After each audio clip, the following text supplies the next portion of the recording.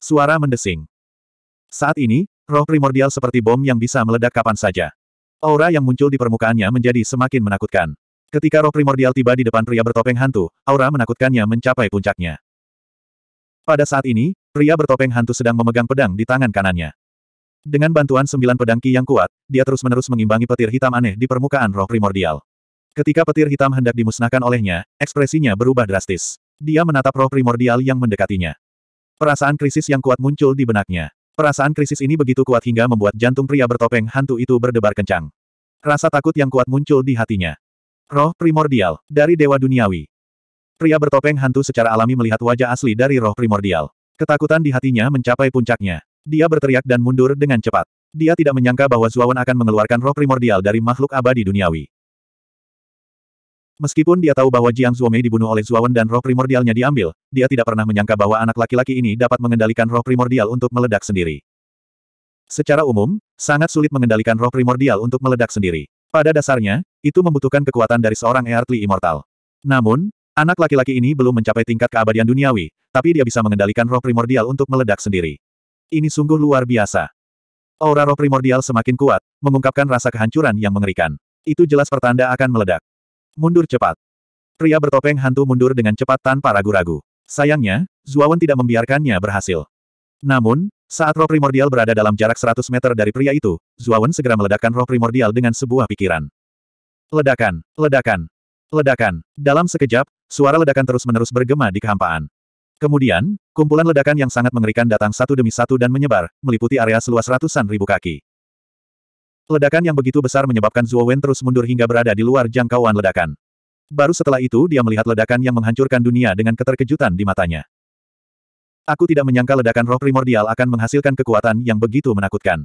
Kekuatan ini seharusnya cukup untuk meledakkan Dewa Bumi sampai mati, bukan? Zuawan sangat terkejut dengan kekuatan ledakannya. Dia tahu betul bahwa jika dia, Zuawan, menjadi pusat ledakan, dia pasti akan mati. Kekuatan ledakannya sangat mengerikan. Seluruh satelit Night Mare Abyss tampak berguncang karenanya, dan pusaran pelangi terdekat serta empat benua juga diselimuti oleh ledakan tersebut. Namun, yang membuat Zuawan berhati-hati adalah pusaran tujuh warna itu seperti batu besi yang sangat keras. Itu memancar keluar dan menyelimuti empat benua. Saat ledakan menyebar, ia tidak bergerak sama sekali, dan tidak terpengaruh oleh ledakan sama sekali. Ledakan itu berlangsung selama setengah dupa. Akhirnya perlahan menghilang. Segera setelah itu, terungkap kekacauan dalam jarak seratus ribu kaki di depan mereka. Terlepas dari empat benua yang diselimuti oleh pusaran tujuh warna, semua pecahan dalam jarak beberapa ratus ribu meter telah hancur berkeping-keping. Namun, sebelum ledakan, Zuawan telah menyimpan fragmen dengan susunan transmisi di Istana Naga Azure dan ruang cincin roh terlebih dahulu. Zuo menoleh dan segera menyadari bahwa tidak jauh dari ledakan, ada hantu berbentuk pedang besar berukuran beberapa ratus meter yang diam-diam melayang di udara. Di bawah bayang-bayang pedang, pria bertopeng hantu itu meringkuk dengan wajah pucat. Pada saat ini, permukaan bayangan pedang mulai dipenuhi retakan yang tak terhitung jumlahnya, dan retakan itu semakin bertambah. Pada akhirnya, ia runtuh dengan suara keras. Pria bertopeng hantu yang meringkuk di dalam tiba-tiba mengeluarkan seteguk darah. Wajahnya sangat pucat, dan pedang panjang di tangannya juga roboh. Pria bertopeng hantu itu menatap Zuawan. Dia ingin berbicara, tetapi dia mengeluarkan seteguk darah lagi dan langsung pingsan. Suara mendesing. Zuawan langsung bergegas ke depan pria bertopeng hantu itu. Bola mata itu mengikuti di sampingnya. Pada saat yang sama, Zuawan menyiapkan langkah-langkah pertahanan yang kuat di sekitar tubuhnya, untuk berjaga-jaga. Zuo membentuk segel dengan tangan kanannya, dan duri tajam tumbuh dari ujung jari yang dibentuk oleh jari pembantaian dunia bawah. Dia tiba-tiba dan diam-diam menikam leher pria bertopeng iblis itu. Namun, saat jari pembantai hendak menembus leher pria bertopeng hantu, Zuawan menyipitkan matanya dan menghentikan gerakan jari kanannya. Lupakan saja, mari kita lihat siapa orang ini dulu. Belum terlambat untuk membunuhnya nanti. Mata Zuawan berkedip. Dia perlahan menarik jari pembantaiannya, mengulurkan tangan kanannya, dan mengangkat topeng hantu di wajah pria itu. Wajah seorang pemuda pucat dan agak tampan tiba-tiba muncul di depan Zuawan. Mata pria itu terpejam, dan keringat dingin mengucur di keningnya, seolah sedang mengalami mimpi buruk. Ketika mata Zuawan tertuju pada wajah pria itu, dia tidak bisa menahan diri untuk tidak terkejut. Pupil matanya menyusut hingga seukuran jarum, dan dia tersentak dan berkata, itu dia. Bagaimana itu mungkin? Bagaimana dia bisa maju begitu cepat? Ini baru sepuluh tahun lebih sedikit. Pada saat ini, mata Zuawan penuh dengan kebingungan, keraguan, dan keterkejutan yang tidak dapat dijelaskan. Zuawan, ayo pergi. Aku merasakan dua aura yang sangat kuat mendekat dengan cepat. Kedua aura ini sangat menakutkan, jauh melebihi aura Dewa Duniawi. Jika kita ditemukan oleh dua orang ini, kamu dan aku tidak akan bisa pergi. Tiba-tiba, Xiao Hei di lautan kesadaran berseru, suaranya penuh keterkejutan. Zuo Wen terkejut. Dia sama sekali tidak menyadari dua aura kuat itu. Namun, dia tahu bahwa Divine Sense Xiao Hei jauh lebih kuat daripada Divine Sense miliknya. Xiao Hei biasanya bisa merasakan hal-hal yang lebih jauh darinya. Ayo pergi. Zuo Wen tidak membuang waktu. Dengan lambaian lengan bajunya, segel kutukan yang memakan terus-menerus ditembakkan dan segera menyegel orang yang bertopeng hantu. Setelah memasukkan topeng hantu ke Aula Naga Azure, Zuo Wen mengeluarkan pecahan dengan susunan teleportasi di Aula. Setelah memasuki fragmen tersebut, Zuawan dengan cepat menemukan formasi transmisi yang tersembunyi di bagian terdalam dari fragmen tersebut di bawah bimbingan Xiao Hei. Tanpa berpikir panjang, dia mengaktifkan kutukan melahap tanpa ragu-ragu. Pada saat ini, dalam kehampaan ratusan ribu mil jauhnya, pria parubaya dan pria tua itu perlahan-lahan melewati pecahan yang tak terhitung jumlahnya. Eh, ada keributan besar di Broken Fang Abyss. Tampaknya ada pertempuran hebat di bagian terdalam dari Broken Fang Abyss. Ayo cepat dan lihat. Pria parubaya itu menyipitkan matanya dan melangkah maju. Ruang di depannya tiba-tiba terdistorsi, dan dia menghilang seiring dengan distorsi tersebut. Teknik gerakan yang digunakan pria parubaya saat ini sungguh luar biasa. Itu jauh lebih cepat daripada teleportasi Dewa Duniawi. Jika ada yang melihat teknik gerakan pria parubaya itu, mereka pasti akan berteriak kaget. Hal ini dikarenakan teknik pergerakan yang digunakan oleh pria parubaya tersebut bukanlah teleportasi, melainkan teleportasi di atas teleportasi. Kecepatan teleportasi ini jauh lebih cepat daripada teleportasi. Teleportasi memungkinkan seseorang melakukan perjalanan ke lokasi mana pun dalam jarak 10.000 mil dalam sekejap. Teleportasi di atas teleportasi memungkinkan seseorang melakukan perjalanan 100.000 mil dalam sekejap. Kecepatannya 10 kali lebih cepat dari teleportasi. Adapun mereka yang mampu berteleportasi, hanya mereka yang basis budidayanya berada di alam abadi surgawi ke atas yang dapat menguasainya. Pria tua itu memandang pria parubaya yang telah berteleportasi dengan sedikit rasa iri di matanya. Dia berkata, ada begitu banyak manfaat menjadi ahli alam suci surgawi. Orang tua ini sangat iri dengan kemampuan berteleportasi dan berteleportasi. Karena itu, lelaki tua itu melambaikan lengan bajunya. Segera, kristal berkilau dan tembus pandang melayang di atas telapak tangan lelaki tua itu. Lalu, lelaki tua itu meremasnya. Segera, energi tak berujung menyembur keluar dari kristal dan membentuk pusaran tak terlihat. Orang tua itu maju selangkah dan segera memasuki pusaran, menghilang di tempat.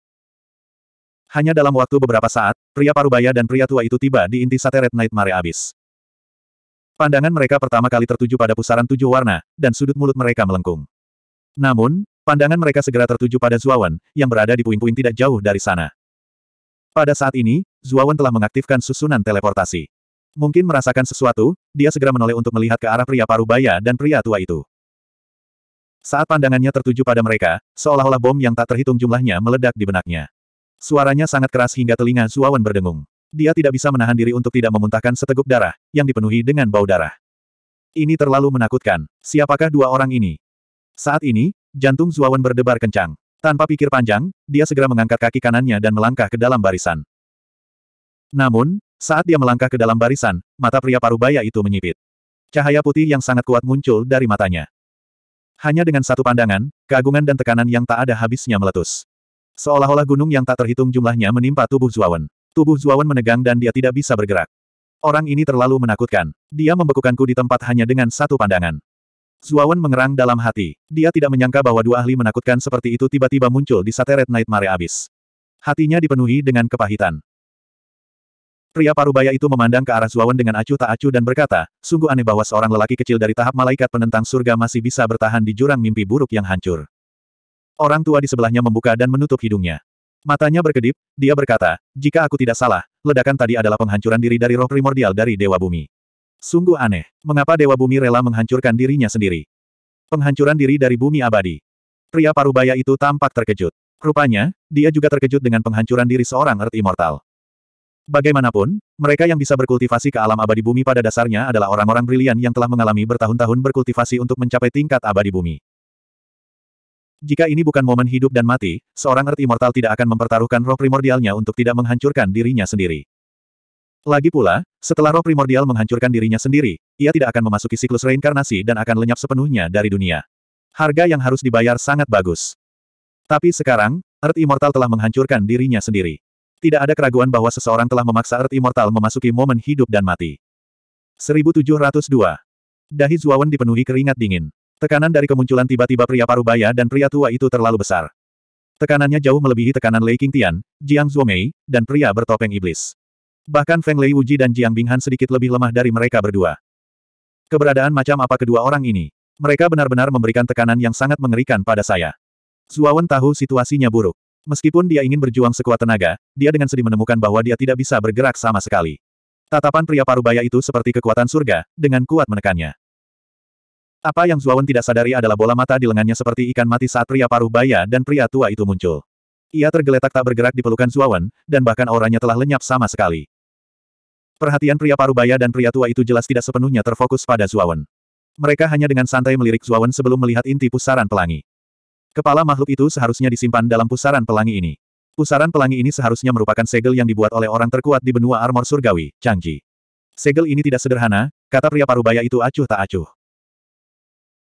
Begitu pria parubaya mengatakan itu, Zuawan, yang berdiri di depan formasi teleportasi, menyadari bahwa Xiao Hei di lautan kesadarannya bergetar seolah dia mendengar sesuatu yang sangat mengejutkan. Zuawan terkejut. Dia tidak bisa menahan diri untuk tidak bertanya pada Xiao Hei, Xiao Hei, ada apa? Xiao Hei melayang di udara dalam lautan kesadarannya. Tatapannya dipenuhi dengan emosi yang rumit, sementara ekspresi Riang Cheng Huang telah menghilang. Itu digantikan dengan ekspresi yang sangat serius. Xiao Hei terdiam beberapa saat. Pada akhirnya, dia menghela nafas pelan dan berkata, tidak ada. Aku hanya teralihkan sejenak. Cheng Huang, yang berdiri di samping Xiao Hei, awalnya ingin mengatakan sesuatu, tapi tatapan tajam dari Xiao Hei membungkamnya. Zuawan secara alami memperhatikan ekspresi Xiao Hei dan Cheng Huang. Dia awalnya ingin terus bertanya, tapi Xiao Hei menyela, Nak, kamu masih punya waktu untuk memikirkan hal-hal tidak penting seperti itu. Anda harus memikirkan bagaimana cara melepaskan diri dari penindasan terhadap Anda saat ini. Zuawan tersenyum pahit ketika mendengar itu, orang ini terlalu kuat. Kekuatan yang terkandung dalam satu pandangan saja sudah cukup membuatku gemetar. Aku tidak bisa bergerak. Bagaimana aku bisa membebaskan diri? Xiao Hei dan Cheng Huang dari Cheng Huang bertukar pandang, Xiao Hei dan Cheng Huang. Huang. Tatapan tajam Xiao Hei dan Cheng Huang. Xiao Hei dan Cheng Huang dan Cheng Huang melihat. Huang dan dan Huang, adalah, Xiao Hei dan Huang adalah. Hei Studio Cheng dan Huang menatap Chen di Was Was Studio. Di Was Was Was Studio adalah Was Was Was. Setelah kamu melepaskan diri dari penindasan, segera keluar melalui formasi teleportasi. Jangan ragu sama sekali. Zuawan mengangguk dengan sungguh-sungguh. Dia mengangkat kepalanya untuk melihat pria parubaya dan pria tua itu. Benar saja, dia memperhatikan bahwa pria parubaya dan pria tua itu tidak memperhatikannya. Atau mungkin, mereka mengabaikan Zuawan sama sekali. Jika kita bekerja sama, kita mungkin bisa melepaskan diri dari segel itu, kata lelaki tua itu. Pria parubaya itu mengangguk dan berkata, namun, aku harap tetua Gu bisa mengatur formasi besar penyegel segudang sebelum kita membuka segelnya. Dengan begitu, kita bisa mencegah keberadaan yang tersegel di dalamnya mengambil kesempatan untuk melarikan diri setelah segelnya dilepas. Rusak terbuka. Penatuagu mengangguk dan berkata, Anda benar, Guru Ilahi. Saya akan mulai menyiapkan formasi penyegelan universal sekarang. Saat dia berbicara, Penatuagu melompat dan langsung tiba di atas pusaran tujuh warna. Dia perlahan-lahan mengulurkan tangan kanannya yang kurus dan tiba-tiba menariknya. Segera, energi mental yang mengerikan melonjak. Energi mental ini sangat kuat. Itu seperti lautan tanpa batas yang bersiul. Tangan Penatuagu menunjuk ke arah kekosongan dan tiba-tiba membentuk segel. Seketika, laut spiritual berubah menjadi batasan yang tidak terlihat.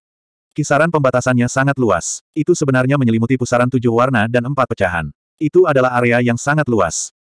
Energi mental Tetuagu mampu menyelimuti area seluas itu dengannya. Seberapa kuatkah energi mentalnya? Meskipun Zuawan baru saja menjadi guru suci yang mendalam dan mengembangkan kitab suci evolusi segudang, energi mentalnya sangat kuat.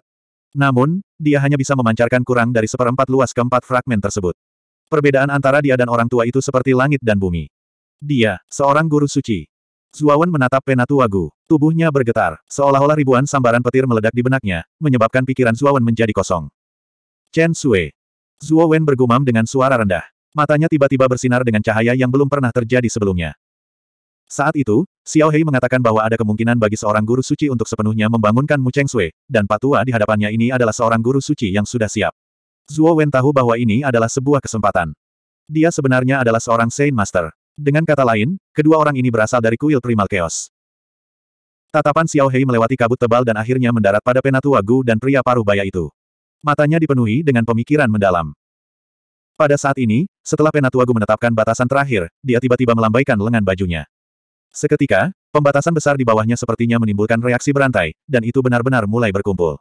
Pada akhirnya, segudang ilusi muncul di permukaan pembatasan tersebut. Ribuan ilusi mengandung penderitaan yang tiada habisnya. Jika orang biasa melihatnya, mereka mungkin akan kehilangan akal dan mengakhiri hidupnya sendiri. Selain ilusi yang tak ada habisnya, Myriad Creation Ceiling Array juga memiliki pertahanan yang sangat kuat. Menjebak Dewa Surgawi bukanlah masalah sama sekali. Bahkan seorang dewa sejati harus mempertimbangkan kekuatannya sendiri jika dia ingin menembus pertahanan ini. Setelah dia meletakkan arai penyegel ciptaan segudang, Penatuagu menginjak kaki kanannya, menyebabkan ribuan ilusi di sekitarnya langsung menghilang dan memperlihatkan segel pusaran tujuh warna sekali lagi. Patuagu mengangguk pada pria paruh baya itu. Pria paruh baya itu mengerti dan mengambil langkah maju. Dia tertawa dan berkata, kali ini, dengan bantuan formasi penyegelan kuno yang mencakup segalanya, menundukkan kepala itu seharusnya tidak menjadi masalah. Saat dia berbicara, pria parubaya itu mengepalkan tangan kanannya sebelum melengkungkan jarinya. Awan di cakrawala hancur dan membentuk jari besar yang panjangnya lebih dari 10 km. Tanda-tanda di permukaan jari itu sangat jelas, dan tampak seperti jari orang sungguhan. Jari bintang jatuh. Pria parubaya itu mengeluarkan raungan pelan. Dia membengkokkan jarinya dan menunjuk ke bawah. Seketika, jari itu turun seperti gunung besar. Saat jari itu turun, cahaya bintang yang tak terhitung jumlahnya berputar di sekitar jari itu. Tampak mempesona, seolah bukan jari yang turun, melainkan langit penuh bintang. Zuawan menatap Starfall Finger yang turun dan ekspresinya sedikit berubah. Dia bisa merasakan energi yang sangat mengerikan yang terkandung dalam Starfall Finger. Sebelum energi ini, dia, Zuawan, tampak begitu tidak berarti. Pada akhirnya, Starfall Finger meledak ke pusaran tujuh warna dan meletus dengan cahaya bintang yang tak ada habisnya. Cahaya bintang itu seperti gugusan nebula yang berputar mengelilingi pusaran. Kekuatannya bahkan lebih besar dari sebelumnya. Ledakan mengerikan bergema dari pusaran tujuh warna. Empat pecahan yang mengelilingi pusaran tujuh warna itu bergetar hebat. Kemudian retakan yang tak terhitung jumlahnya mulai muncul di permukaan keempat pecahan tersebut. Terlebih lagi, retakan tersebut dengan cepat menyebar hingga akhirnya runtuh menjadi ketiadaan. Pada saat itu, keempat pecahan itu telah menghilang. Hanya pusaran tujuh warna besar dan empat pusaran tujuh warna sepanjang 300 meter yang melekat padanya yang tersisa. Gutua, bantu aku membuka segel terakhir, raung pria parubaya itu.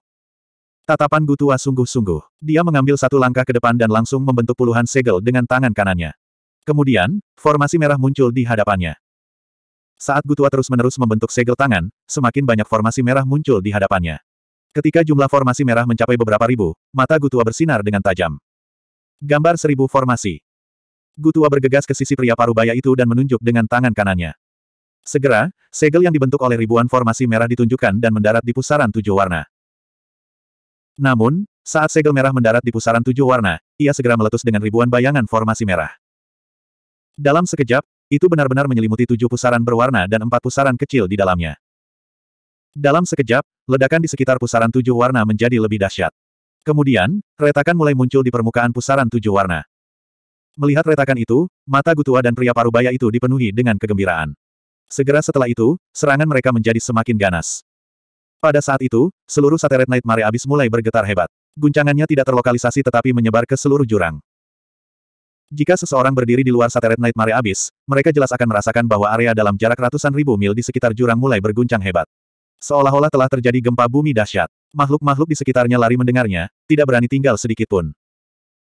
Di kedalaman satelit Night Mare Abyss, saat pria parubaya dan Gutua bekerja sama, retakan di permukaan pusaran tujuh warna mulai menyebar. Pada akhirnya, Pusaran tujuh warna mulai runtuh sepenuhnya. Saat pusaran tujuh warna itu runtuh, aura yang sangat menakutkan dan kuat muncul dari dalam. Aura ini begitu menakutkan hingga seolah mampu menghancurkan dunia. Setelah aura menakutkan ini meletus, bayangan hitam yang sangat cepat terbang keluar dari pusaran tujuh warna yang runtuh. Bayangan hitam ini sangat cepat. Dalam sekejap, ia melarikan diri ke arah yang berlawanan dengan pria paruh baya dan gutua. Kecepatannya bahkan lebih cepat dari teleportasi. Hal ini menyebabkan pupil pria paruh baya dan gutua mengecil. Bang! Namun, bayangan hitam itu tidak berhasil melarikan diri jauh sebelum menabrak tepi arai penyegel semua ciptaan. Segera, itu mengaktifkan arai penyegel semua ciptaan. Arai penyegel semua ciptaan sangat kuat. Ketika bayangan hitam menghantam tepi susunan, ia langsung menjadi pusing dan melihat bintang. Ia menghentikan pelariannya. Begitu bayangan hitam itu berhenti, penampakan aslinya akhirnya terungkap.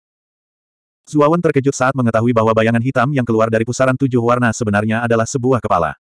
1703 Selain itu, Zuo Wen juga menemukan bahwa kepala dengan rambut putih berkibar ini memiliki satu mata. Mata kanannya tertutup rapat, dan di bawah kelopak matanya, ada bekas luka berdarah yang melintang di pipinya, membuatnya tampak agak ganas. Zuawan menatap mata kanan kepala yang tertutup rapat. Mau tak mau dia melirik ke arah bola mata yang berpura-pura mati di pelukannya, dan tiba-tiba dia menyadari. Dia menduga bola mata itu kemungkinan besar adalah mata kanan kepala yang hilang. Namun, dia merasa bingung. Mengapa mata kanannya tidak kembali ke kepala tetapi mengikutinya, Zuawan? Meskipun dia dipenuhi dengan keraguan, Zuawan secara alami tidak dapat menarik perhatiannya pada saat yang begitu penting. Pada saat ini, Terlepas dari apakah itu kepala bermata satu, pria parubaya, atau pria tua, mereka semua adalah keberadaan yang sangat menakutkan. Mereka bertiga hanya perlu menjepit jari mereka untuk membunuhnya. Dia tidak akan menyebabkan kematiannya sendiri dengan mengeluarkan bola matanya. Terlebih lagi, bola mata di pelukannya sedang berpura-pura mati. Auranya telah lenyap sepenuhnya, mungkin tidak ingin ditemukan oleh kepala. Siapa kalian berdua? Beraninya kamu membuat batasan untuk mencegahku pergi. Kepala itu perlahan memutar kepalanya. Rambut putihnya berkibar tanpa angin. Auranya seperti gunung yang muncul dari tanah. Tiba-tiba meletus, bahkan menyebabkan langit dan bumi berubah warna. Haha, kami berdua adalah dermawan yang membuka segel pusaran air pelangi dan melepaskanmu. Apakah ini caramu memperlakukan dermawanmu? Tatapan pria parubaya itu acuh tak acuh, tapi dia sama sekali tidak takut pada kepala. Dia mengambil satu langkah ke depan, dan auranya melonjak seperti gunung berapi yang meletus. Dalam sekejap, ruang di sekitarnya membeku. Jika itu bukan kepala melainkan sosok manusia seutuhnya, mungkin pria parubaya itu tidak akan berani melawannya. Namun, sekarang itu hanya tinggal kepala, jadi dia tidak takut sama sekali. Selain pria parubaya, Pak Tuagu juga tidak mau kalah. Dia maju bersama pria parubaya itu. Meski tekanannya tidak setajam pria parubaya, tekanannya tidak jauh lebih lemah. Melihat Pak Tuagu dan pria parubaya itu maju bersama, pupil mata kepala sekolah mengerut. Aura Pak Tuagu dan pria parubaya itu tidak jauh lebih lemah dari auranya. Dalam arti tertentu, mereka bahkan lebih kuat. Sialan. Jika aku tidak dipotong-potong oleh Changji dan hanya menyisakan kepala ini, kalian berdua tidak lebih dari semut di mataku. Bagaimana aku bisa membiarkan kalian berdua menunggangi kepalaku? Kepala itu berkata dengan tatapan ketakutan. Pria sejati tidak akan menyombongkan kejayaan masa lalunya. Saat itu, kamu memang perkasa dan menakjubkan. Tapi sekarang, kamu hanya seorang kepala. Apa yang bisa dilakukan oleh seorang kepala terhadap kami? Pria parubaya itu mencibir dan mengangkat jari kanannya. Seketika, jari bintang jatuh-jatuh dari langit. Bintang yang tak terhitung jumlahnya berputar di sekitar permukaan jari bintang jatuh. Jari bintang jatuh tampak mempesona dan kuat. Ketika jari bintang jatuh-jatuh, kepala itu menyipitkan matanya dan menunjukkan ekspresi hati-hati. Dia mendengus dingin dan berkata, kamu memaksaku melakukan ini. Setelah mengatakan itu, kepala itu menarik napas dalam-dalam dan meniupnya. Meskipun pusaran air raksasa tujuh warna retak, empat pusaran air tujuh warna di sekitarnya masih utuh. Saat kepalanya meledak, pusaran air tujuh warna yang paling dekat dengan kepala benar-benar retak.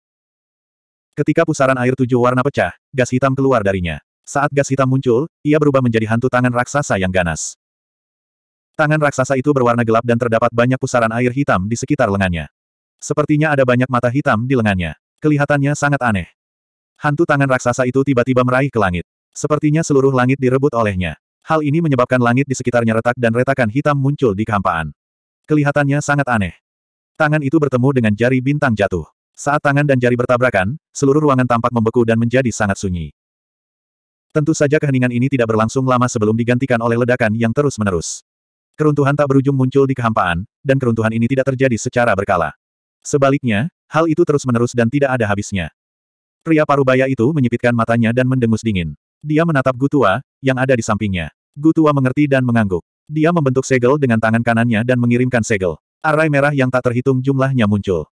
Gambar seribu arai. Tangan kanan Old Gu muncul di kehampaan. Ribuan susunan merah bertumpuk dan membentuk tanda merah yang sangat dalam. Tanda merah keluar dari tangan kanan Gu tua dan tercetak di tangan hitam raksasa itu. Segera, tangan hitam raksasa, yang awalnya setara dengan jari bintang jatuh, jatuh ke dalam kondisi menurun dan bahkan terpaksa mundur. Mata kepala itu sangat suram. Ia menarik napas dalam-dalam dan menghembuskannya lagi. Pusaran air kedua meledak dan tanda hitam berukuran puluhan kaki terbang keluar darinya. Tanda hitam itu terbang keluar dan segera tercetak di tangan hitam raksasa itu. Segera, tangan hitam raksasa, yang telah jatuh ke dalam kondisi menurun, tiba-tiba meledak dengan aura yang lebih menakutkan. Itu benar-benar menekan jari bintang jatuh dan gambar seribu arai. Bang! Dengan dukungan tanda hitam, tangan hitam raksasa itu jauh lebih kuat. Jari bintang jatuh tidak bertahan lama sebelum benar-benar roboh. Segera setelah itu, gambar seribu arai juga hancur total. Tangan hitam raksasa itu tidak kehilangan momentumnya. Tiba-tiba benda itu mendarat di kepala pria parubaya dan Gutua. Itu seperti tangan raksasa yang menutupi langit. Itu membentuk bayangan hitam besar yang menyelimuti mereka berdua. Ekspresi pria parubaya dan Gutua berubah menjadi serius. Pria parubaya itu kembali melipat tangan kanannya dan mengangkatnya ke langit. Dia berkata dengan suara yang dalam, Meteor Finger. Begitu dia mengatakan itu, meteor tak berujung mulai berjatuhan dari langit dengan pria parubaya sebagai pusatnya. Di antara meteor yang tak terhitung jumlahnya, sebuah jari yang dikelilingi oleh meteor yang tak terhitung jumlahnya perlahan terentang dari kehampaan. Jari ini pada dasarnya berbeda dari jari bintang jatuh. Jari bintang jatuh mengelilingi langit yang penuh bintang, namun jari meteor ini berasal dari meteor. Kekuatannya jauh lebih kuat dari jari bintang jatuh. Jari meteor menekan dan meledakkan tangan hitam raksasa itu. Itu benar-benar menghentikan tangan hitam raksasa itu untuk bergerak maju. Mata kepala itu suram. Ia menghembuskan nafas dua kali dan berkata dengan dingin, sepertinya jika aku tidak menggunakan kartu truf terakhirku, kalian berdua tidak akan melepaskan ini, kan? Hari ini, saya akan membiarkan kalian berdua melihat kekuatan saya yang sebenarnya. Setelah menghembuskan dua hembusan udara, dua pusaran tujuh warna yang tersisa benar-benar runtuh. Tombak hitam besar terbang keluar dari salah satu pusaran tujuh warna. Tentu saja, tombak hitam besar ini sama seperti tangan besarnya. Itu juga merupakan bayangan tak berbentuk dan tidak berwujud. Namun, Meski hanya bayangan, aura yang ditampilkan tombak raksasa itu masih cukup membuat orang gemetar ketakutan. Ruang itu runtuh. Saat tombak hitam besar itu digenggam oleh tangan hitam besar itu, tombak itu terlempar dengan keras. Bayangan tombak hitam yang tak terhitung jumlahnya melesat keluar, menyelimuti ruang puluhan ribu mil. Di bawah bayangan tombak yang tak terhitung jumlahnya, jari meteor mulai bergetar, seolah-olah akan runtuh kapan saja. Setelah tombak hitam raksasa terbang, pusaran air tujuh warna lainnya juga runtuh. Namun, setelah pusaran air tujuh warna itu runtuh, pusaran itu menjadi kosong. Ketika kepala berambut putih melihat pusaran air keempat kosong, matanya dipenuhi dengan keterkejutan dan kemarahan. Dia tidak bisa menahan diri untuk tidak berteriak, bajingan sialan yang mana. Beraninya dia mengambil mata keduaku. Siapa ini? Kepala berambut putih itu meraung ke langit. Namun, matanya dengan cepat tertuju pada Gutua dan pria paruh baya itu. Dia meraung, pasti kalian berdua. Semut yang tercela. Hari ini, aku tidak akan membiarkan kalian berdua pergi. Mati. Kepala berambut putih itu menjerit keras. Segera, kabut hitam yang sangat tebal muncul dari lehernya. Kabut hitam ini mulai terus berkumpul dan menggeliat di bawah lehernya. Akhirnya, ia memperlihatkan tubuh yang sangat berotot. Namun, tubuh ini dibentuk oleh kabut hitam dan tampak sedikit ilusi. Tangan kanan tubuh ini kosong. Kepala berambut putih itu bersiul, dan tangan besar yang memegang tombak hitam itu tiba-tiba menyapu dan akhirnya menempel di tangan kanan tubuh ini. Kepala berambut putih itu mengepalkan tangan kanannya dan cahaya menakutkan segera muncul dari matanya. Ia mencibir, meski itu hanya tubuh ilusi, itu sudah cukup untuk menangani kalian berdua. Serahkan nyawa kalian, kalian ingin mati karena mengambil mata keduaku. Dengan itu, kepala berambut putih itu maju selangkah dan tiba di hadapan pria parubaya dan Gutua dalam sekejap mata. Dia mengayunkan tangan kanannya dan tombak hitam raksasa itu tiba-tiba menebas. Itu langsung menebas pria parubaya dan Gutua. Ujung tombaknya bersinar dengan cahaya hitam yang menyilaukan. Cahaya hitam itu seperti kilat hitam. Saat tombak itu tersapu, tombak itu benar-benar meledak. Seolah-olah seluruh ruang akan runtuh hanya dengan satu ayunan tombak. Pria Parubaya dan Gutua segera menjadi galak. Pria Parubaya itu menunjuk dengan jarinya lagi dan berkata dengan suara yang dalam, teknik surgawi, Chaotic Star Cloud Finger. Dengan itu, nebula yang sangat besar muncul di atas pria Parubaya itu. Nebula tersebut disusun dengan cara yang sangat kacau dan saling terkait satu sama lain. Nebula-nebula itu terjalin secara kacau dan samar-samar membentuk bentuk embrio jari besar. Seolah-olah nebula itu disusun menjadi satu membentuk bentuk jari. Itu sangat alami. Jari ini juga merupakan jari utama pria Parubaya. Kekuatannya berkali-kali lebih kuat dari jari bintang jatuh dan jari meteor sebelumnya. Seolah-olah bintang-bintang di langit berbintang akan jatuh dari langit akibat jari ini. Gambar formasi segudang. Gutua tidak mau kalah. Dalam sekejap, dia membentuk puluhan ribu formasi merah. Riak merah menyebar seolah ruang di sekitarnya tertutup rapat. Sangat menakutkan. Jari awan bintang caotik dan gambar formasi segudang hancur bersamaan dan akhirnya berbenturan dengan kepala berambut putih. Ledakan, ledakan, ledakan. Kepala berambut putih itu memegang tombak hitam raksasa dan mengayunkannya. Seolah-olah mengikuti semacam hukum surgawi, ia meledak dengan energi langit dan bumi yang mengejutkan.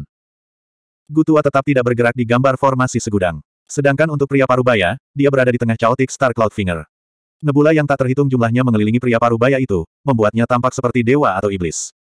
1704. Pertarungan antara mereka bertiga terlalu menakutkan. Seluruh Broken School abis bergetar hebat. Zuawan, yang berada ratusan ribu kaki jauhnya, mengeluh dalam hatinya.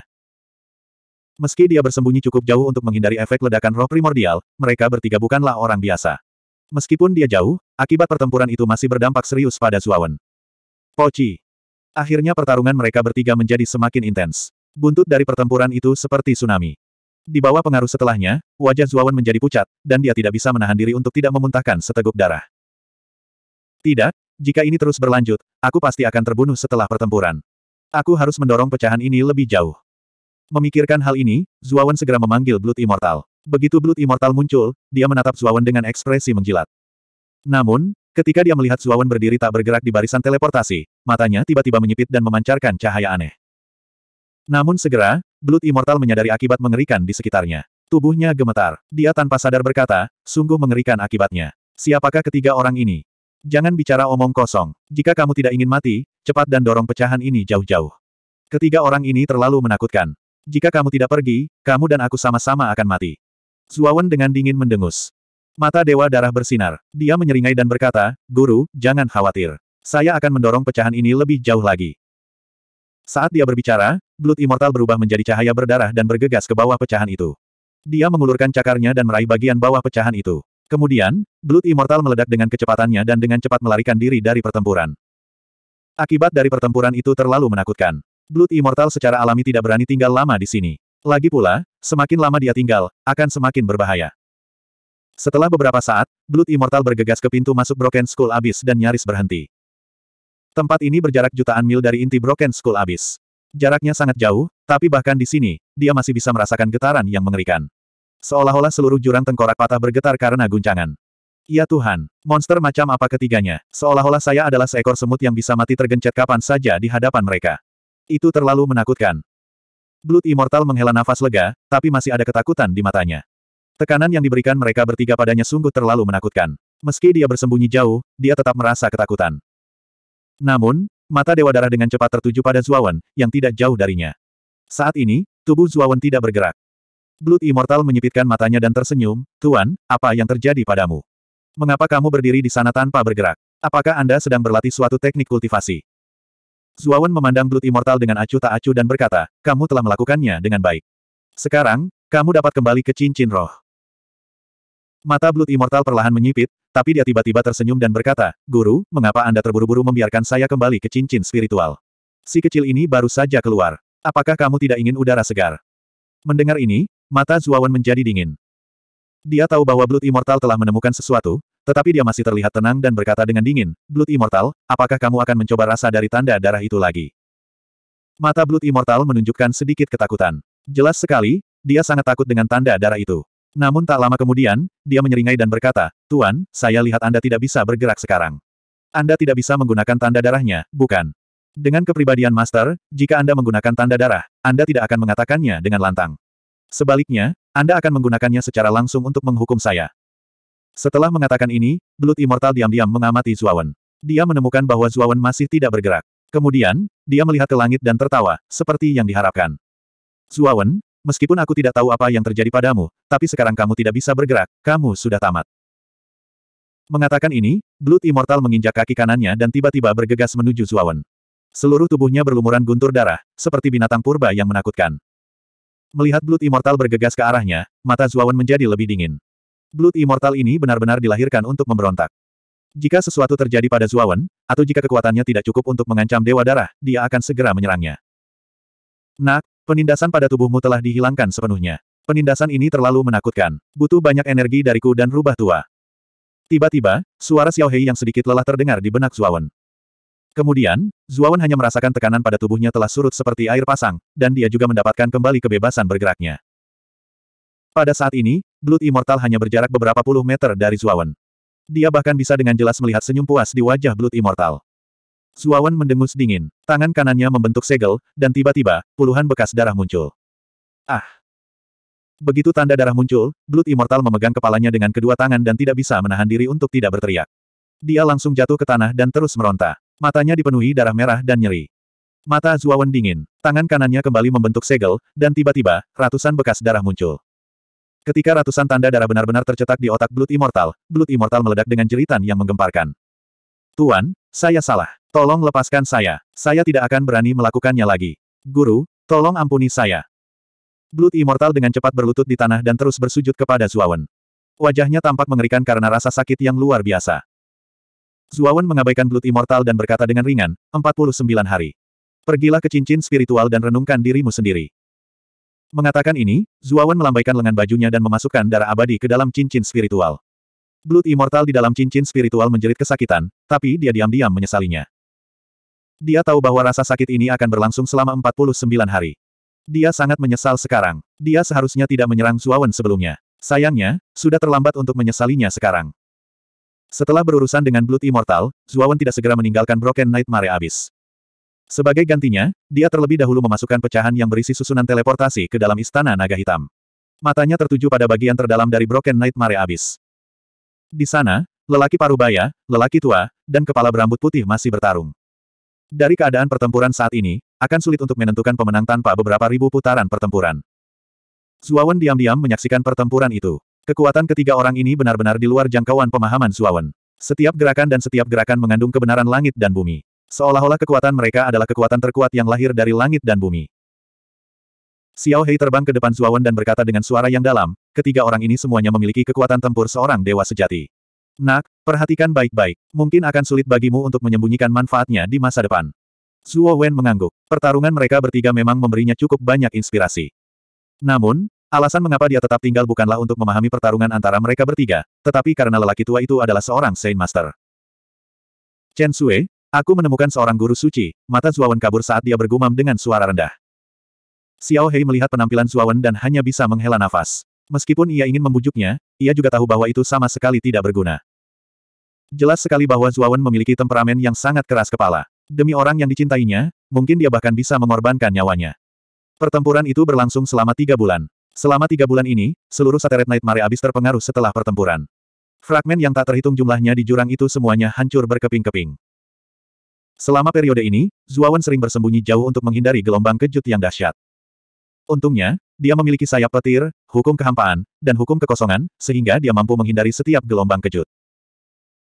Bajingan, jika bukan karena mata keduaku diambil oleh seseorang, bagaimana aku bisa ditekan dan dikalahkan oleh kalian berdua semut?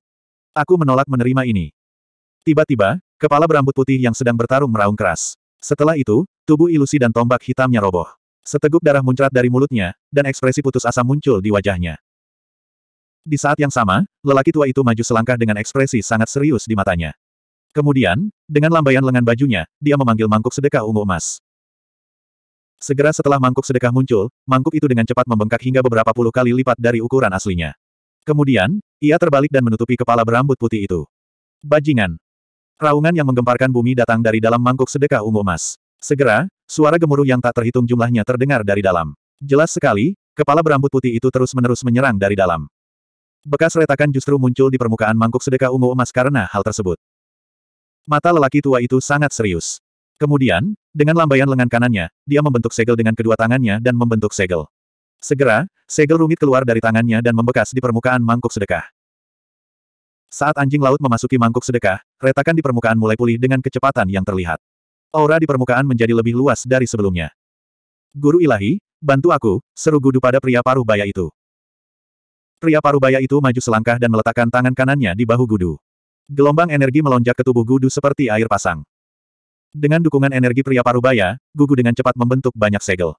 Segel yang terungkap kali ini jauh lebih kuat dari sebelumnya. Ketika segel ini meluncur ke permukaan mangkuk sedekah ungu emas, mangkuk sedekah ungu emas yang semula bergoyang menjadi sunyi senyap. Jelas sekali, kepala berambut putih itu telah sepenuhnya ditekan. Setelah melakukan itu, Gudu menghela napas dengan lembut. Dia menyeka keringat dingin di dahinya dengan tangan kanannya dan berkata dengan ketakutan, sungguh orang yang menakutkan. Kepala saja sudah sangat sulit untuk dihadapi. Wajah pria parubaya itu memucat. Dia berkata dengan suara yang dalam, bagaimanapun juga, ini adalah eksistensi pada level itu. Dan jika bukan karena fakta bahwa kepala telah kehilangan mata kedua, kita mungkin tidak akan menjadi lawannya. Sebenarnya, kita adalah cukup beruntung kali ini. Gudu mengangguk setuju. Serangan paling kuat dari kepala berambut putih itu mungkin adalah mata kedua yang dibicarakannya. Bagaimanapun juga, kepala berambut putih menjadi sangat marah setelah mengetahui bahwa mata kedua telah menghilang, seolah-olah telah kehilangan nyawanya. Kita sudah mengumpulkan kepalanya. Sudah waktunya kita berangkat, kata Gudu. 1705. Pria parubaya itu berseru pelan. Dia berbalik dan kebetulan melihat Zuawan melintas seperti seberkas cahaya. Jadi anak kecil itu, dia benar-benar berani mendekati kita setelah melihat pertarungan kita bertiga. Dia cukup berani, bukan? Sudut mulut pria parubaya itu sedikit melengkung sementara sedikit kekaguman muncul di matanya. Penatuagu mengikuti pandangan pria parubaya itu dan melihat Zuawan melintas dengan eksplosif. Untuk beberapa alasan yang tidak diketahui, dia dapat merasakan bahwa tatapan pemuda itu dipenuhi dengan hasrat membara, dan tatapan membara itu menatap tepat ke arahnya. Hal ini menyebabkan Penatuagu mengungkapkan ekspresi aneh. Astaga! Tidak lama kemudian, Zuawan menghampiri Penatuagu dan pria parubaya itu, dan tatapannya menatap tepat ke arah Penatuagu. Setelah itu, dia menangkupkan tangannya dengan sangat hormat dan berkata, saya Zuawan. Salam, senior. Bolehkah saya tahu apakah Anda seorang guru suci surgawi? Penatuagu dan pria parubaya itu bertukar pandang, lalu Penatuagu menatap Zuawan dan merenung sejenak sebelum dia berkata, saya memang seorang guru suci surgawi. Ada apa? Di mata Penatuagu dan pria parubaya, Zuawan tidak berbeda dengan semut, dan mereka awalnya tidak bermaksud terlalu memperhatikan Zuawan. Namun, Ketika mereka berpikir tentang bagaimana Zuawan mampu bertahan dalam pertempuran antara mereka bertiga dan benar-benar mengatasi penindasan tatapan pria parubaya itu, Penatuagu dan pria parubaya itu membangkitkan sedikit ketertarikan pada Zuawan. Pria parubaya itu mengukur Zuawan dari atas ke bawah dan mendecakkan lidahnya dengan heran sambil berkata, berdasarkan fisiknya, dia sebenarnya adalah surga yang menentang guru surgawi. Meskipun bakat alaminya tidak bisa dibandingkan dengan Yuan Hongwen, dia masih satu dari sejuta jenius. Pada saat ini, perhatian Zuawan sepenuhnya terfokus pada Penatuagu. Setelah dia mendengar Penatuagu mengakui bahwa dia adalah seorang guru suci surgawi, ekspresinya menjadi sangat bersemangat, dan dia bahkan sedikit bingung harus berbuat apa. Teman muda, bolehkah aku tahu apa yang kamu butuhkan? Penatuagu sedikit mengernyit saat melihat penampilan Zuawan yang tidak berdaya. Meskipun bakat Zuawan tidak buruk, itu benar-benar tidak menarik perhatiannya. Pada saat ini, melihat Zuawan tiba-tiba menghalangi jalan mereka, dia tentu saja merasa sedikit tidak sabar. Zuo secara alami melihat ketidaksabaran di wajah Old Gu. Dia menarik napas dalam-dalam dan perlahan menenangkan hatinya yang agak gelisah. Suaranya sedikit bergetar ketika dia berkata, Elder, junior ini telah mendengar bahwa guru suci surgawi telah melakukan kontak dengan tingkat jiwa dan memiliki pencapaian yang sangat mendalam dalam aspek jiwa. Oleh karena itu, junior ini memiliki sikap yang sombong. Meminta. Karena itu, Zuawan menjentikan jarinya dan mengeluarkan peti mati kristal dari cincin rohnya. Di dalam peti mati kristal, seorang wanita cantik berbaring diam dengan tangan bersilang di depan dada. Wajah cantiknya penuh ketenangan. Mata wanita itu sedikit terpejam seolah dia tertidur lelap. Wajahnya yang bersih seperti kecantikan tidur. Saat dia mengeluarkan peti mati kristal, tangan Zuawan gemetar. Matanya dipenuhi kelembutan karena wanita di peti mati kristal itu adalah wanita kesayangannya. Dia adalah wanita yang dia rela menyerahkan segalanya untuk diselamatkan. Penatuagu awalnya tidak ingin memperhatikan Zuawan, tetapi ketika dia melihat wanita di peti mati kristal, dia tiba-tiba berseru kaget dan bergegas ke peti mati kristal. Pada saat ini, Penatuagu memandang wanita di peti mati kristal dan perlahan mengerutkan kening. Dia menggelengkan kepalanya dan bergumam dengan suara rendah, tubuh telah runtuh dan hanya jiwa yang tidak memiliki kesadaran yang tersisa. Terlebih lagi, jiwa ini sudah diambang kehancuran. Ini sungguh aneh. Bagaimana ini bisa terjadi? Melihat Penatuagu mengukur Mu Cheng Sui di peti mati kristal, mata Zuawan menunjukkan secercah harapan. Dia dengan cepat berkata, di masa lalu, ingatan Chen Sui diambil secara paksa oleh seseorang. Kemudian, ingatan yang diambil itu hancur dan akhirnya mempengaruhi jiwanya, jadi. Jadi seperti ini, orang tua ini melihatnya dan bukan hanya ingatannya yang diambil, ada juga bagian penting dari jiwanya. Bagian penting dari jiwanya inilah yang menyebabkan ingatannya hancur. Bukan hanya saja dia kehilangan ingatannya, bahkan jiwanya mulai runtuh. Terlebih lagi, keruntuhan ini berakibat fatal. Kata Penatuagu dengan suara yang dalam. Melihat Penatuagu mengatakan hal yang sama, harapan di mata Zuawan menjadi semakin kuat. Dia tahu bahwa Saint Master di depannya mungkin bisa menyelamatkan Mu Cheng Sui. Senior, bisakah kamu menyelamatkan Chen Sui? Untuk ini, junior ini bersedia membayar berapapun harganya. Zuawan tiba-tiba berlutut di udara dan membungkuk hormat kepada Penatuagu. Dia, Zuawan, tidak tunduk pada langit, tidak tunduk pada dewa, dan tidak tunduk pada hidup dan mati. Namun, bagi Mu Cheng Sui, yang juga istrinya, dia rela menyerahkan harga dirinya dan berlutut di hadapan Penatuagu. Penatuagu sedikit mengernyitkan alisnya dan berkata dengan suara yang dalam, jiwa adalah bagian yang sangat penting, tetapi juga merupakan hal yang sangat rapuh. Jika ada bagian dari jiwa yang hilang, itu akan menyebabkan kehancuran yang fatal. Jika kamu ingin menyelamatkan seseorang yang jiwanya hilang, harga yang harus kamu bayar sulit untuk dibayangkan. Apalagi tingkat keberhasilannya tidak tinggi. Kamu dan aku tidak ada hubungan keluarga, jadi mengapa orang tua ini harus membayar harga yang begitu besar? Untuk membantumu. Tubuh Zuawan bergetar. Dia juga tahu bahwa Penatuagu tidak ada hubungannya sama sekali, jadi mengapa dia harus membayar mahal untuk merawat Mu Cheng Sui.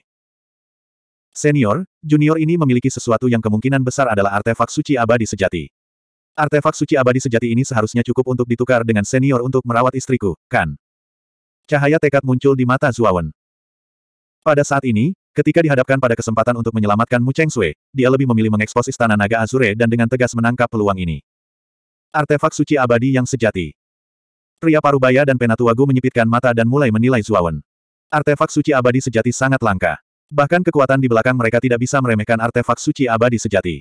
Kekuatan di belakang mereka hanya memiliki satu atau dua harta karun tersebut. Namun, pemuda di depan mereka ini, yang budidayanya hanya berada di alam suci penentang surga, sebenarnya memiliki artefak suci abadi sejati. Hal ini membuat mereka curiga. Meskipun junior ini belum pernah melihat artefak suci abadi sejati, saya tidak mengetahui asal-muasal artefak suci ini ketika saya pertama kali mendapatkannya. Namun, saat saya terus menggunakannya, artefak suci ini menjadi semakin luar biasa. Junior ini dapat menyimpulkan bahwa artefak suci ini kemungkinan besar adalah artefak suci abadi sejati, kata Zuawan dengan suara yang dalam. Kalau begitu, keluarkan artefak suci ini dan lihatlah. Apakah itu artefak suci abadi sejati atau bukan, kita berdua secara alami akan tahu. Pria parubaya itu terkekeh, tapi matanya penuh ejekan. Di matanya, dia tidak berpikir bahwa Zuawan memiliki artefak suci abadi sejati. Bagaimanapun, budidaya Zuawan terlalu rendah. Pikiran Penatuagu dan pria parubaya itu sama. Zuawan mengangguk. Dengan jentikan jarinya, dia hendak mengeluarkan istana naga Azure ketika seberkas cahaya keluar dari cincin rohnya. Pada akhirnya, penampakan sebenarnya dari cahaya itu terungkap. Pria parubaya dan Penatuagu menatap penampilan sebenarnya dari cahaya itu dengan tatapan aneh di mata mereka. Ini karena yang muncul di hadapan mereka hanyalah pedang panjang yang meledak bersama bayangan matahari. Itu adalah pedang yang Dao ke-9. Murid Zuawan menyusut. Dia jelas berencana untuk mengambil istana naga Azure, tapi dia tiba-tiba mengeluarkan pedang yang Dao ke-9. Kamu tidak boleh menunjukkan istana naga Azure kepada dua orang di depanmu ini. Jika tidak, kamu pasti akan kehilangan nyawamu. Suara dingin tiba-tiba terdengar di benak Zuawan. Zuawan segera mengenali pemilik suara itu. Itu tidak lain adalah Dewa Gunung Pertama. Zuawan tahu bahwa itu adalah perbuatan Dewa Gunung Pertama. Zuawan sedikit mengernyit. Saat dia hendak membantah, suara Dewa Gunung Pertama terdengar lagi. Dia berkata, jika kamu benar-benar berencana untuk menyerahkan Istana Naga Azure, jangan salahkan aku karena kejam. Aku tidak akan membunuhmu, tetapi aku akan memisahkan istrimu darimu selamanya. Ketika kata-kata itu diucapkan, tatapan Zuowen menjadi sangat suram. Bahkan ada sedikit kemarahan di dalam kesuraman itu. Namun, dia dengan paksa menekan kemarahan itu. Dewa Gunung Pertama terlalu kuat. Jika Dewa Gunung pertama benar-benar ingin membunuh Mu Cheng Sui, mustahil baginya untuk menghentikannya dengan kekuatannya saat ini. Ini adalah artefak suci abadi sejati. Teman kecil, apakah kamu bermain-main dengan kami? Penatuagu berkata dengan dingin. Pria parubaya itu menganggapnya lucu.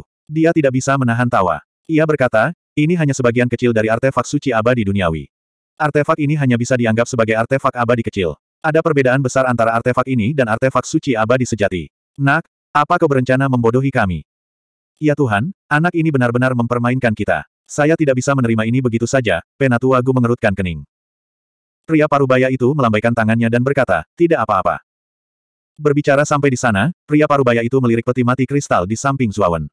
Sepotong kenangan muncul di matanya. Dia berkata dengan lembut, melihat bahwa kamu adalah orang yang tergila-gila dan menghargai hubungan, kami berdua tidak akan mempersulitmu. Jika kamu benar-benar ingin Penatuagu mentraktir istrimu, kamu harus membayar mahal. Kebetulan kuil ilahi Chaotic telah mulai menganugerahkan Dewa Perang Chaotic dan mengadakan Perang Para Dewa. Jika kamu bisa bertahan keluar dalam Perang Para Dewa dan menjadi juara, saya dapat membantu Anda meminta Penatu Agu untuk merawat istri Anda. Zuawan tercengang. Segera setelah itu, dia gemetar. Matanya yang suram segera mulai bersinar dengan cahaya yang menyengat.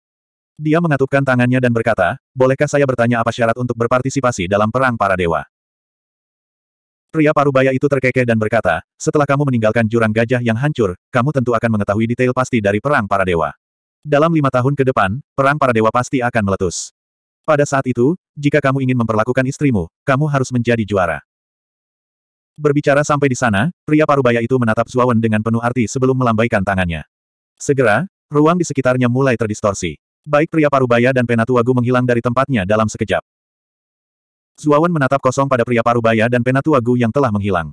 Harapan di matanya semakin padat. Terkadang, yang kurang dari seseorang bukanlah motivasi, melainkan harapan. Selama Anda memiliki harapan, Anda akan memiliki motivasi yang tiada habisnya. Saat ini, harapan Zuawan adalah menyelamatkan Mu Cheng Sui. Untuk itu, dia akan berpartisipasi dalam perang para dewa dan menjadi juara. Aku, Zuawan, pasti akan berpartisipasi dalam perang para dewa. Dengan itu, Zuawan menarik pecahan itu dari Azure Dragon Hall. Sekarang setelah pria parubaya dan penatuagu telah pergi, Dewa Gunung pertama tidak menghentikan Zuawan menggunakan aula. 1706. Zuawan merasakan gelombang pusing melanda dirinya. Saat rasa pusingnya berangsur-angsur mereda, dia perlahan membuka matanya. Baru setelah itu dia melihat dengan jelas sekelilingnya. Dia melihat ada lapisan kabut di sekelilingnya. Lapisan kabut ini sepertinya sangat takut pada cahaya. Ketika teleportasi Zuawan menghasilkan cahaya putih, kabut di sekitarnya dengan cepat menghilang. Dalam sekejap mata, sebuah ruang kosong dengan radius 10.000 kaki terbentuk. Namun, ketika cahaya putih di sekitar Zuawan berangsur-angsur memudar, perasaan bahaya yang kuat tiba-tiba muncul di hati Zuawan. Kabut hitam di sekitarnya seperti binatang buas dengan mulut terbuka lebar. Tiba-tiba ia berkumpul menuju Zuawan, seolah ingin menenggelamkan Zuawan. Tanpa ragu-ragu, Zuawan memanggil sembilan api karma api. Dari apa yang dia lihat sebelumnya, kabut hitam sangat takut pada cahaya. Oleh karena itu, dia memutuskan untuk mencobanya dan memanggil sembilan api karma api. Benar saja, saat sembilan api karma api dilepaskan, lapisan kabut hitam di sekitarnya sepertinya telah bertemu dengan musuh alaminya dan menyebar. Ia mengelilingi Zuawan sejauh ratusan meter, tidak berani mendekat. Zuawan, yang berada di sembilan api karma, mulai mengamati dengan cermat kabut hitam di sekitarnya. Kulit kepalanya langsung mati rasa. Pasalnya, kabut hitam yang berkumpul di sekitar mereka bukanlah kabut sungguhan. Sebaliknya, ia terdiri dari serangga merayap hitam yang padat. Reptil ini hanya seukuran ibu jari. Mereka memiliki mulut yang tajam di depan dan tiga pasang sayap tipis di punggung. Mereka agak mirip dengan nyamuk. Mata reptil ini bersinar dengan lampu hijau. Mereka tampak sangat aneh saat menatap lurus ke arah Zuawan.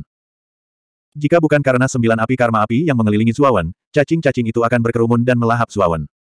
Zuawan sedikit mengernyit. Dia tidak pernah berpikir bahwa dia akan muncul di tempat yang aneh begitu dia diteleportasi. Dia mau tidak mau bertanya pada Xiao Hei, Xiao Hei, kamu keluar dari formasi teleportasi saat itu. Tempat apa ini? Saat ini, Xiao Hei berubah menjadi seberkas cahaya hitam dan mendarat di bahu Zuawan. Ia melihat sekeliling dan secercah kekuburan muncul di matanya. Dikatakan, jika saya mengingatnya dengan benar, saya seharusnya diteleportasi ke prefektur tertentu di dataran tengah. Hal seperti ini belum pernah terjadi sebelumnya. Lalu kenapa kita diteleportasi ke tempat yang bukan manusia atau hantu ini? Zuawan sedikit mengernyit saat dia menatap reptil tak berujung di sekitarnya dan bertanya pada Xiao Hei Karmic Fire. Xiao Hei mengangkat bahu dan berkata dengan agak canggung, aku tidak yakin tentang itu. Formasi teleportasi itu sudah ada selama beberapa ribu tahun. Itu sudah terlalu lama. Mungkin itulah alasan mengapa ada masalah dengan teleportasi. Pembuluh darah menonjol di dahi Zuawan saat dia melihat ekspresi canggung Xiao Hei. Dia benar-benar ingin menghajar Xiao Hei dengan kejam sekarang. Hal itu telah mengacaukannya lagi. Jika dia tahu bahwa formasi teleportasi akan memindahkannya ke tempat asing, dia lebih suka menelusuri kembali langkahnya daripada memasuki formasi teleportasi. Sayangnya, dia kini telah menaiki kapal bajak laut. Zuawan menghela nafas pelan. Segera setelah itu, dia menggunakan sembilan api karma api untuk bergegas ke arah tertentu. Saat ini, ia dikelilingi oleh begitu banyak reptil yang praktis mengaburkan pandangannya. Akibatnya, Zuawan hanya bisa menggunakan metode yang agak bodoh ini. Kecepatan Zuawan sangat cepat. Segera setelah itu, dia melangkah ke tanah yang kokoh. Segera setelah itu, dia terkejut saat mengetahui bahwa tanah di bawah kakinya tidak sedingin es. Sebaliknya, itu agak lembut. Ketika dia menundukkan kepalanya untuk melihat, dia menemukan sebenarnya ada sesuatu seperti dinding daging di bawah kakinya. Terlebih lagi, dinding daging ini terus-menerus menggeliat. Zuo Wen mengerutkan alisnya dan menjadi semakin bingung. Dia punya banyak keraguan tentang di mana tempat ini berada. Selain itu, Zuo Wen menemukan bahwa reptil di sekitarnya sangat takut padanya saat dia melangkah ke dinding daging. Mereka semua berhenti di luar tembok daging dan tidak berani masuk. Tanpa halangan dari reptil ini, Zuo Wen melambaikan lengan bajunya dan menarik sembilan api-api karma. Segera setelah itu, dia dengan cepat bergegas menyusuri dinding daging.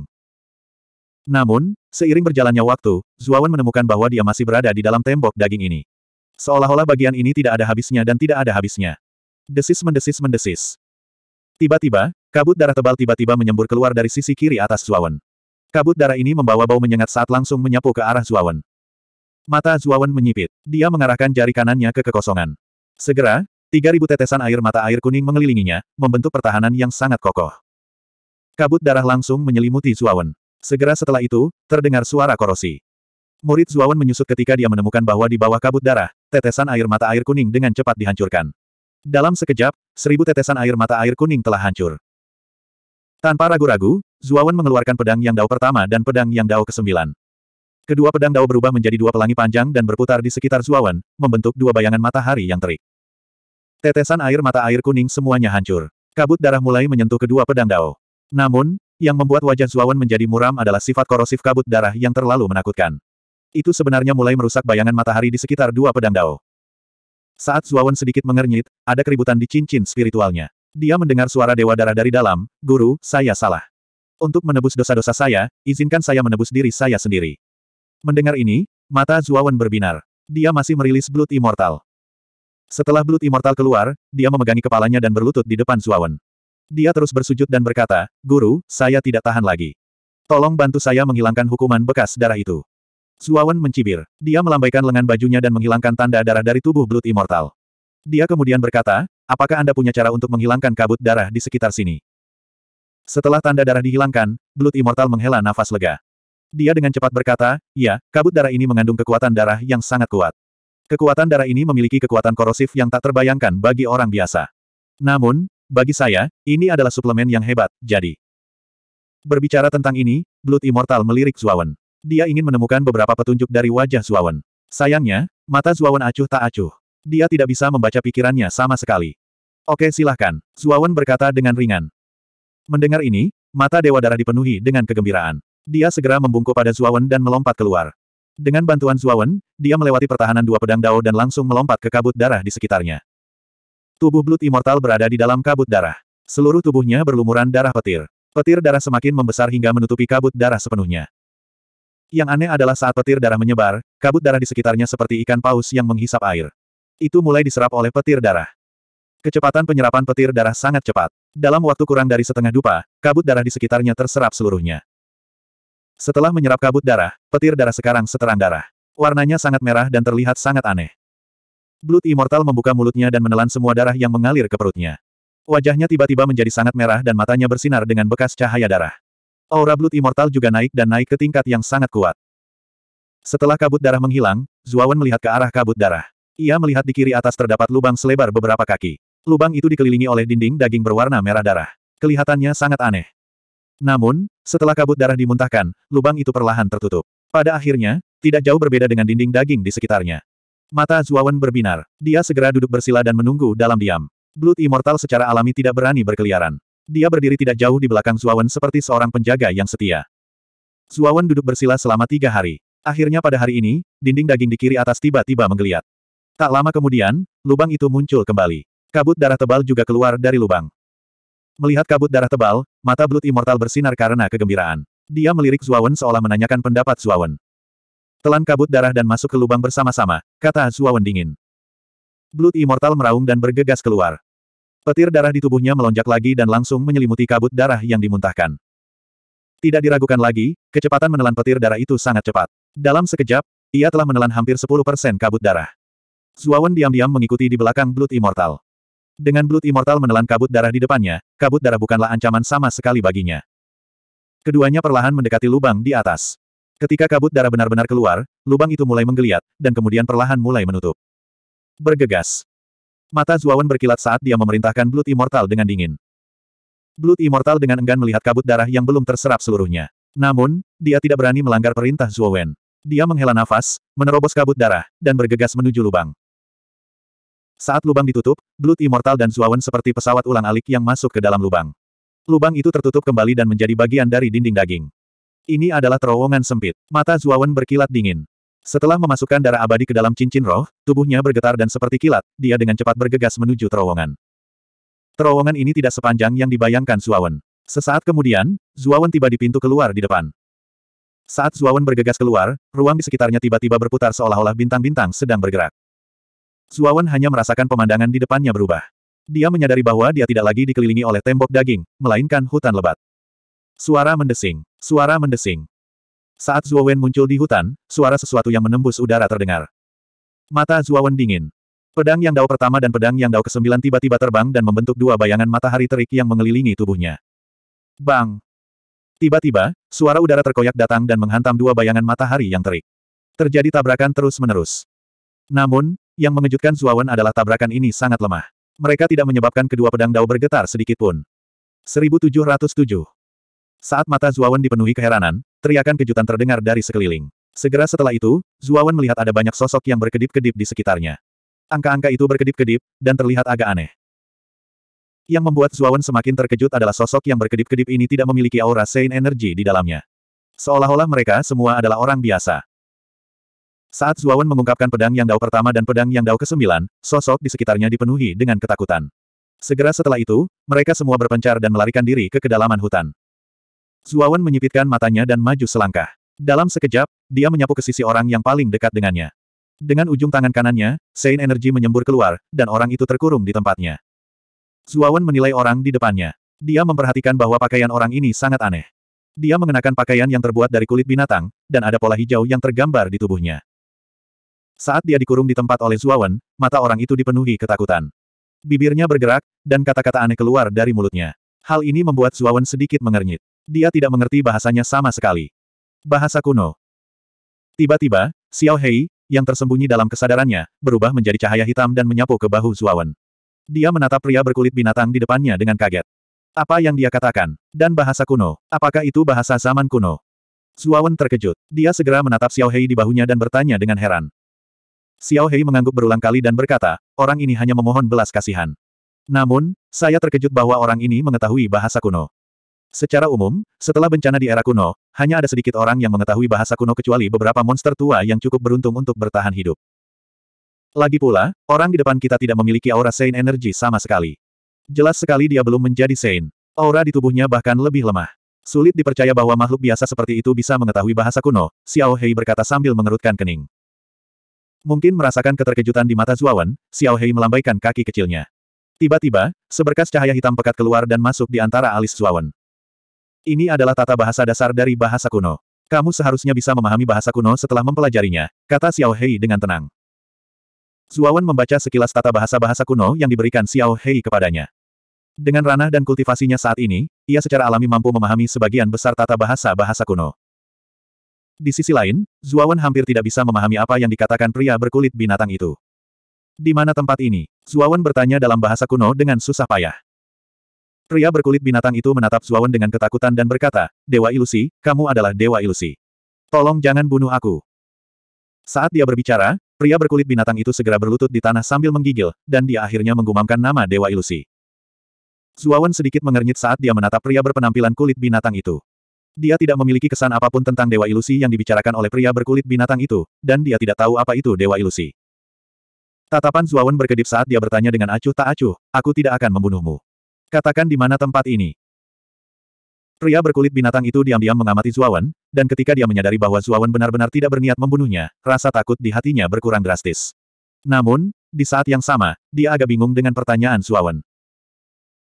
Namun, demi tidak membuat marah Dewa Ilusi yang dibicarakan pria itu, dia secara alami menjawab dengan jujur, saya anggota suku Kintian. Saat pria berkulit binatang itu berbicara, Zuawan memperoleh pemahaman kasar tentang situasi di sini. Ada total tiga suku di sini, dan setiap suku memiliki beberapa ribu anggota klan. Ketiga suku itu saling menjaga satu sama lain. Lebih penting lagi, meskipun ketiga suku saling mengawasi, setiap anggota klan memiliki misi di hati mereka, yaitu melindungi menara pengorbanan di tengah ketiga suku. Konon menara kurban ini merupakan harta leluhur yang diwariskan oleh nenek moyang mereka, dan mereka perlu melindunginya dari generasi ke generasi. Adapun di mana tempat ini berada, pria berkulit binatang tidak tahu, tetapi Zuawan tahu bahwa tempat ini jelas bukan wilayah tengah. Adapun di mana tempatnya, dia tidak bisa mengatakannya. Meskipun orang di depanku tidak memiliki aura Saint Power, tubuhnya cukup kuat, dan fisiknya jauh lebih kuat dari prajurit biasa.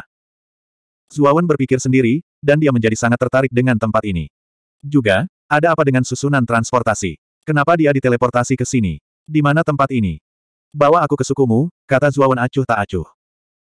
Pupil pria berkulit binatang itu menyusut, dan bibirnya bergetar saat dia berkata, suku kami tidak mengizinkan Dewa Ilusi masuk. Jika kamu pergi ke suku tersebut, kami semua akan dibunuh oleh anggota suku. Zuawan dengan dingin menatap pria berkulit binatang itu, dan berkata dengan acuh tak acuh, jika kamu tidak ingin mati sekarang, bawa aku ke sana. Hati pria berkulit binatang itu bergetar, tetapi pada akhirnya, dia menguatkan dirinya dan berkata, tidak, suku tersebut tidak mengizinkan Dewa Ilusi masuk. Begitu Dewa Ilusi menyelinap ke dalam suku, itu akan menyebabkan bencana yang mengerikan.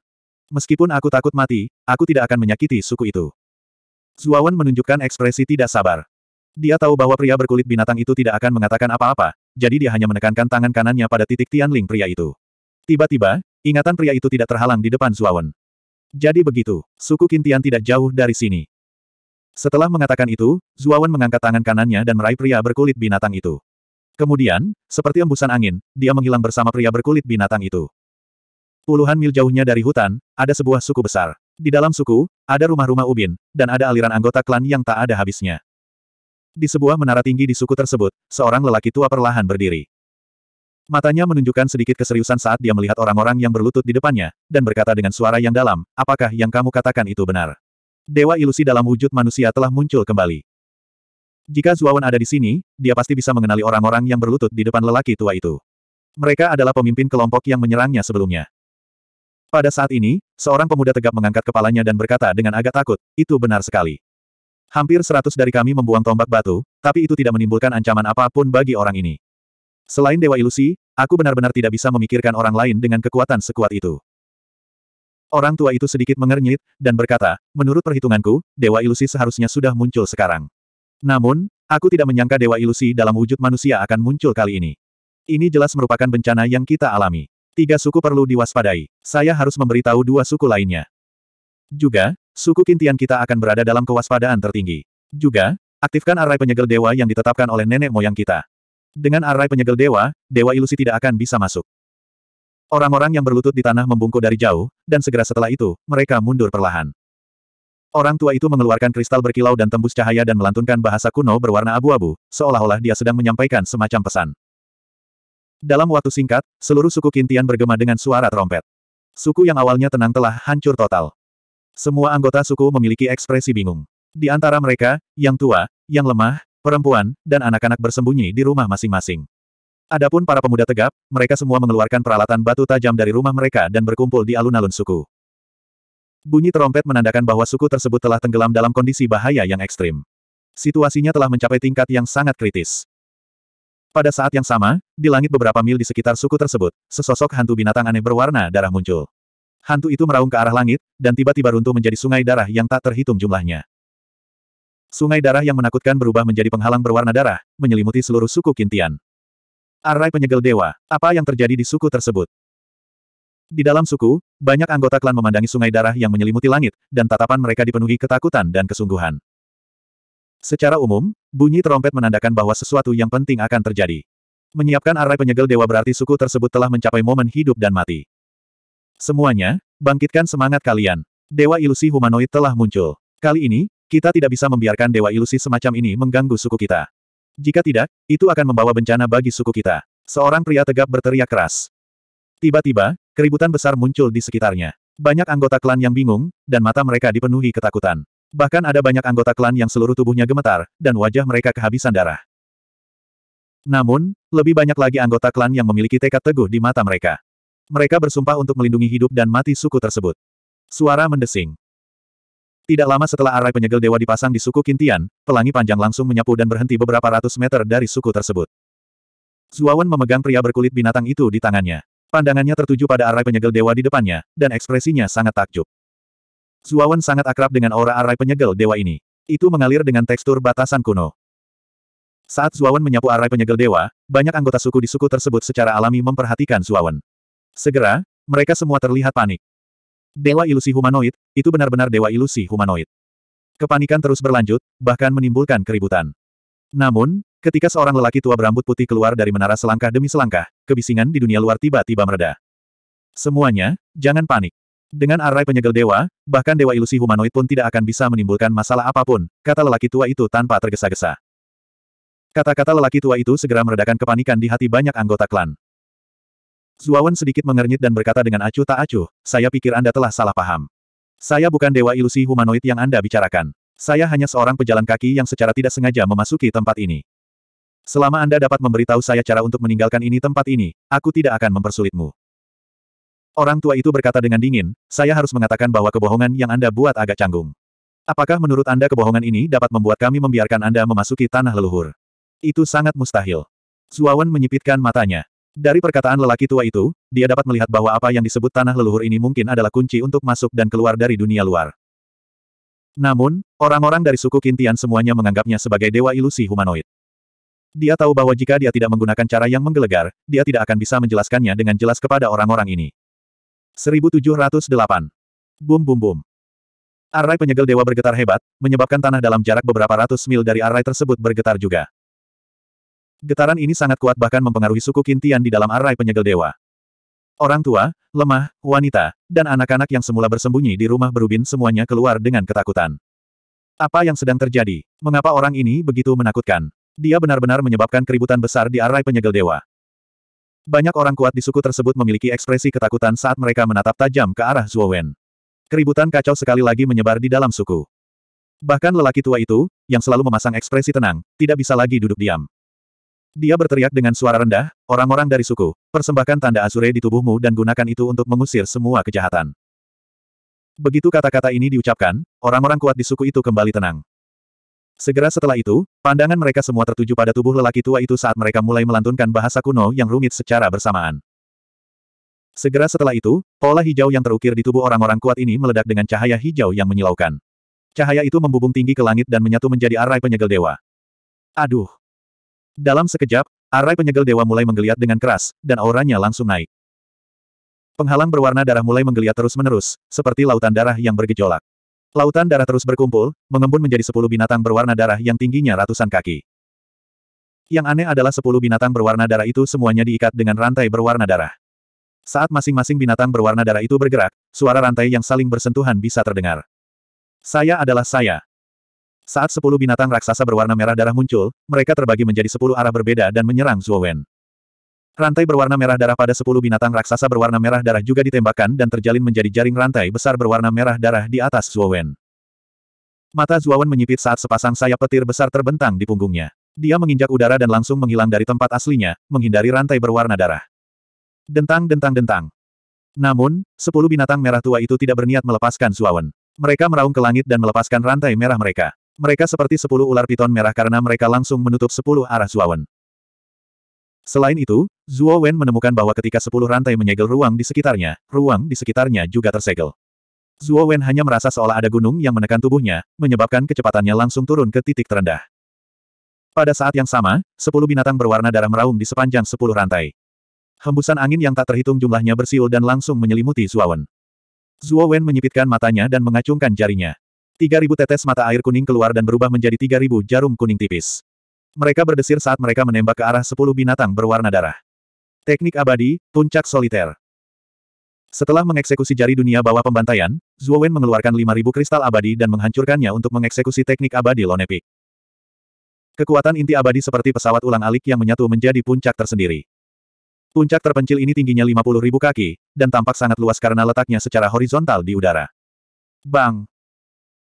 Meskipun jari pegas kuning pembantaian telah menghentikan 10 binatang berwarna darah untuk menyerang ke depan, sangat disayangkan bahwa di bawah serangan 10 binatang berwarna darah, ia runtuh satu demi satu. Namun, Zuo Wen tidak terburu-buru atau lamban. Dengan gulungan lengan bajunya, puncak tunggal yang menakutkan setinggi 50 ribu kaki itu dengan keras menyapu, dengan kejam menghantam tubuh 10 binatang raksasa berwarna darah, benar-benar menghancurkan 10 binatang raksasa berwarna darah dan membuat mereka terbang. Rantai merah tua yang memenjarakan ruang di sekitar Zuawan juga menunjukkan celah saat binatang berwarna darah itu dikirim terbang. Mata Zuawan berkedip saat dia melompati celah dan bergegas menuju binatang berwarna darah terdekat. Pada saat ini, sebelum binatang itu dapat bereaksi, ia melihat Zuawan telah muncul di atasnya, memegang puncak terpencil yang menakutkan setinggi 50 ribu kaki di tangannya dan menghancurkannya dengan kejam. Aduh! Binatang berwarna darah itu mengeluarkan tangisan sedih saat ia mencoba mengangkat cakar binatang besarnya untuk memblokir puncak kesendirian yang sedang runtuh. Namun, dengan sedih ia menemukan bahwa cakarnya seperti harimau kertas di bawah tekanan puncak yang sunyi. Kemudian, ia meledak menjadi awan kabut darah di tengah tangisan sedihnya. Setelah membunuh binatang berwarna darah pertama, Zuawan segera melebarkan sayap gunturnya. Pada saat ini, Zuawan mengaktifkan kekuatan sayap guntur secara ekstrim. Dalam sekejap, sayap guntur menyebar hingga berukuran seribu kaki, menutupi langit dan matahari. Matahari dan bulan meredup saat menyebar dan tampak seperti tertutup petir. Dengan matinya salah satu dari sepuluh binatang, kekuatan mereka berkurang drastis. Zuawan mengandalkan kecepatannya yang tak tertandingi dan teror dari puncak kesunyian untuk meledakkan sembilan binatang yang tersisa menjadi awan kabut darah hanya dalam sepuluh napas waktu. Saat sepuluh binatang berwarna darah dimusnahkan, banyak orang kuat di suku itu memuntahkan seteguk darah. Cahaya tanda hijau di tubuh mereka menjadi sangat redup. Adapun lelaki tua yang kuat itu, dia mengerang teredam dan mundur terus-menerus. Untungnya, ada dua pria bermata tajam dan tangan cepat di belakangnya. Mereka mendukung lelaki tua itu dan mencegahnya mempermalukan dirinya sendiri. Ilusi humanoid ini terlalu kuat. Suku Kintian kita sudah tamat. Apa yang harus kita lakukan? Anggota suku Kintian yang tak terhitung jumlahnya mengungkapkan ekspresi putus asa. Sepuluh binatang yang dibentuk oleh formasi rantai ilahi yang paling kuat tidak dapat melakukan apa pun terhadap orang ini. Suku Kintian hampir kehabisan akal. Pada saat ini, sepuluh binatang berwarna darah dimusnahkan, dan cahaya di permukaan formasi rantai ilahi sangat redup. Zuawan perlahan berjalan mendekat, menatap anggota suku dari suku Kintian. Dia mengangkat puncak soliter di tangan kanannya dan melemparkannya dengan keras. Yang paling. Suara pecahan kaca terdengar. Puncak terpencil itu menghantam permukaan formasi rantai ilahi, dan retakan yang tak terhitung jumlahnya menyebar. Kemudian, formasi rantai ilahi akhirnya runtuh sepenuhnya. Saat formasi rantai ilahi dihancurkan, Zuawan membawa pria berkulit binatang dan perlahan mendarat di suku Kintian. Saat ini, suku tersebut sesunyi jangkrik di musim dingin. Semua anggota suku menatap Zuawan dengan ketakutan di mata mereka. Zuawan bahkan melihat banyak anak kecil bersembunyi di belakang para wanita, dengan takut menilai Zuawan yang telah menyusup ke dalam suku tersebut. Zuawan secara tidak sengaja memandangi wanita tua dan lemah serta anak-anak yang bersembunyi di balik pria kuat, dan ketidakpedulian di matanya semakin berkurang. Kemudian, pandangannya tertuju pada lelaki tua lemah tidak jauh dari situ. Dia tahu bahwa lelaki tua ini harus menjadi pemimpin suku ini. Orang tua itu menatap Zuawan dengan ketakutan, dan kemudian menatap pria berkulit binatang di tangan Zuawan. Dia berkata dengan suara yang dalam, Ah hei, apakah kamu memimpin ilusi humanoid ini ke suku? Saat ini, pria berkulit binatang sudah bangun. Dia secara alami melihat semua yang telah terjadi. Celepuk. Pria berkulit binatang melepaskan diri dari Zuawan dan tiba-tiba berlutut di tanah. Dia berulang kali bersujud kepada orang tua itu dan berkata, Patriark, ah dia pantas mati. Ah dia jelas tidak memberitahu orang ini lokasi suku Kintian. Ah dia tidak tahu mengapa dia menemukan kita. Tapi ah dia tahu kalau ini tidak ada hubungannya denganku. Oleh karena itu, ah dia rela menebusnya dengan kematian. Pria berkulit binatang itu tersedak isak tangisnya. Segera setelah itu, dia mengeluarkan belati yang dipoles dari batu dari celananya dan mengayunkannya ke lehernya. Dentang. Namun, tindakan pria berkulit binatang ini segera dihentikan oleh Zuawan. Zuawan melihat sekeliling dan dengan dingin berkata, saya sudah mengatakan bahwa saya bukan dewa ilusi yang kalian semua bicarakan. Saya hanya seorang pejalan kaki yang kebetulan lewat. Jika saya adalah dewa ilusi, bagaimana mungkin kalian semua masih hiduplah? Orang tua itu menilai Zuawan. Setelah mengetahui bahwa Zuawan telah menyusup ke dalam suku Kintian, dia tiba-tiba tidak membantai secara sembarangan seperti dewa ilusi lainnya. Tatapannya menunjukkan ekspresi skeptis. Kamu benar-benar bukan dewa ilusi. Jika sebenarnya tidak, bisakah Anda mengizinkan saya memeriksa Anda secara pribadi? Orang tua itu berkata dengan suara yang dalam. Mata Zuawan menyipit saat dia menatap lelaki tua itu. Pada akhirnya, dia mengangguk dan berkata, tentu. A, da, A, R, kalian berdua bawa batu leluhur itu. Orang tua itu menginstruksikan kedua pria di belakangnya. Kedua lelaki itu mengangguk ke arah lelaki tua itu dan segera meninggalkan tempat itu. Tak lama kemudian, keduanya terhuyung-huyung sambil membawa batu hijau berukuran sekitar 10 kaki. Jika kamu ingin membuktikan bahwa kamu bukan dewa ilusi, apakah kamu bersedia meneteskan setetes darah ke batu leluhur untuk membuktikan identitasmu? Orang tua itu bertanya. Zuawan merenung sejenak. Setelah mengamati bahwa tidak ada masalah dengan batu leluhur di hadapannya, dia memotong ibu jarinya dengan sangat lugas. Segera setelah itu, dia menjentikan setetes darah ke batu leluhur. Kamu kamu kamu. Setelah darah masuk ke batu leluhur, darah itu diserap. Selanjutnya, tidak ada perubahan pada batu leluhur. Melihat tidak ada perubahan pada batu leluhur, lelaki tua itu menghela napas lega dan bergumam dengan suara rendah, dia sebenarnya bukan dewa ilusi. Banyak anggota klan di sekitarnya secara alami melihat fenomena batu leluhur dan menghela nafas lega satu demi satu.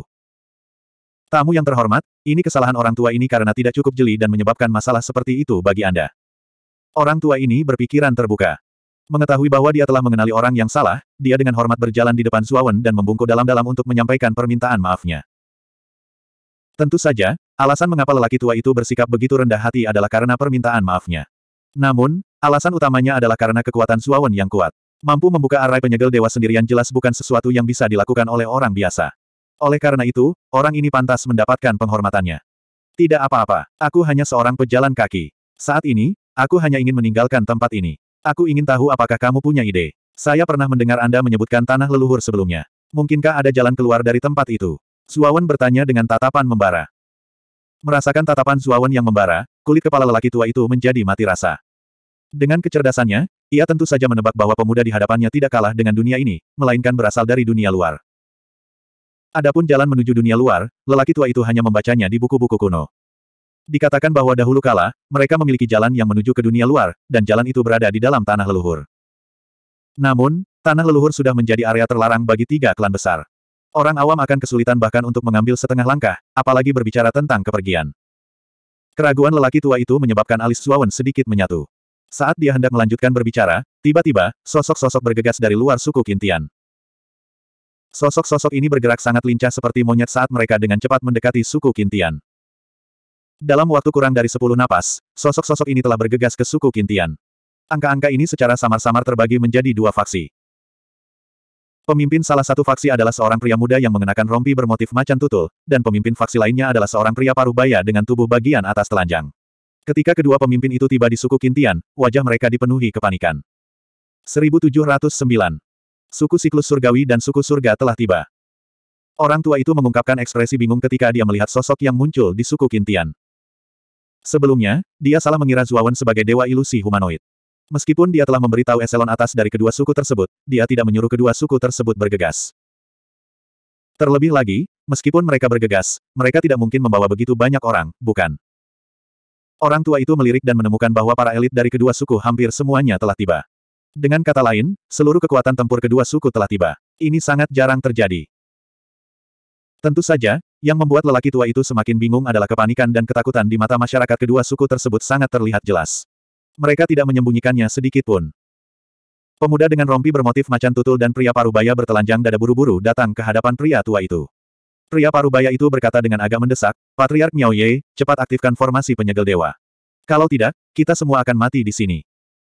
Orang tua itu sedikit mengernyit dan bertanya dengan bingung, Patriark Niyong dan Kong Yi, ada apa dengan kalian berdua?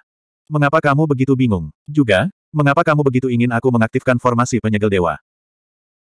Pemuda dengan rompi bermotif macan tutul adalah kepala suku dari suku siklus surgawi, Niyong, sedangkan pria parubaya bertelanjang dada adalah kepala suku dari suku Heavenhold, Kong Yi.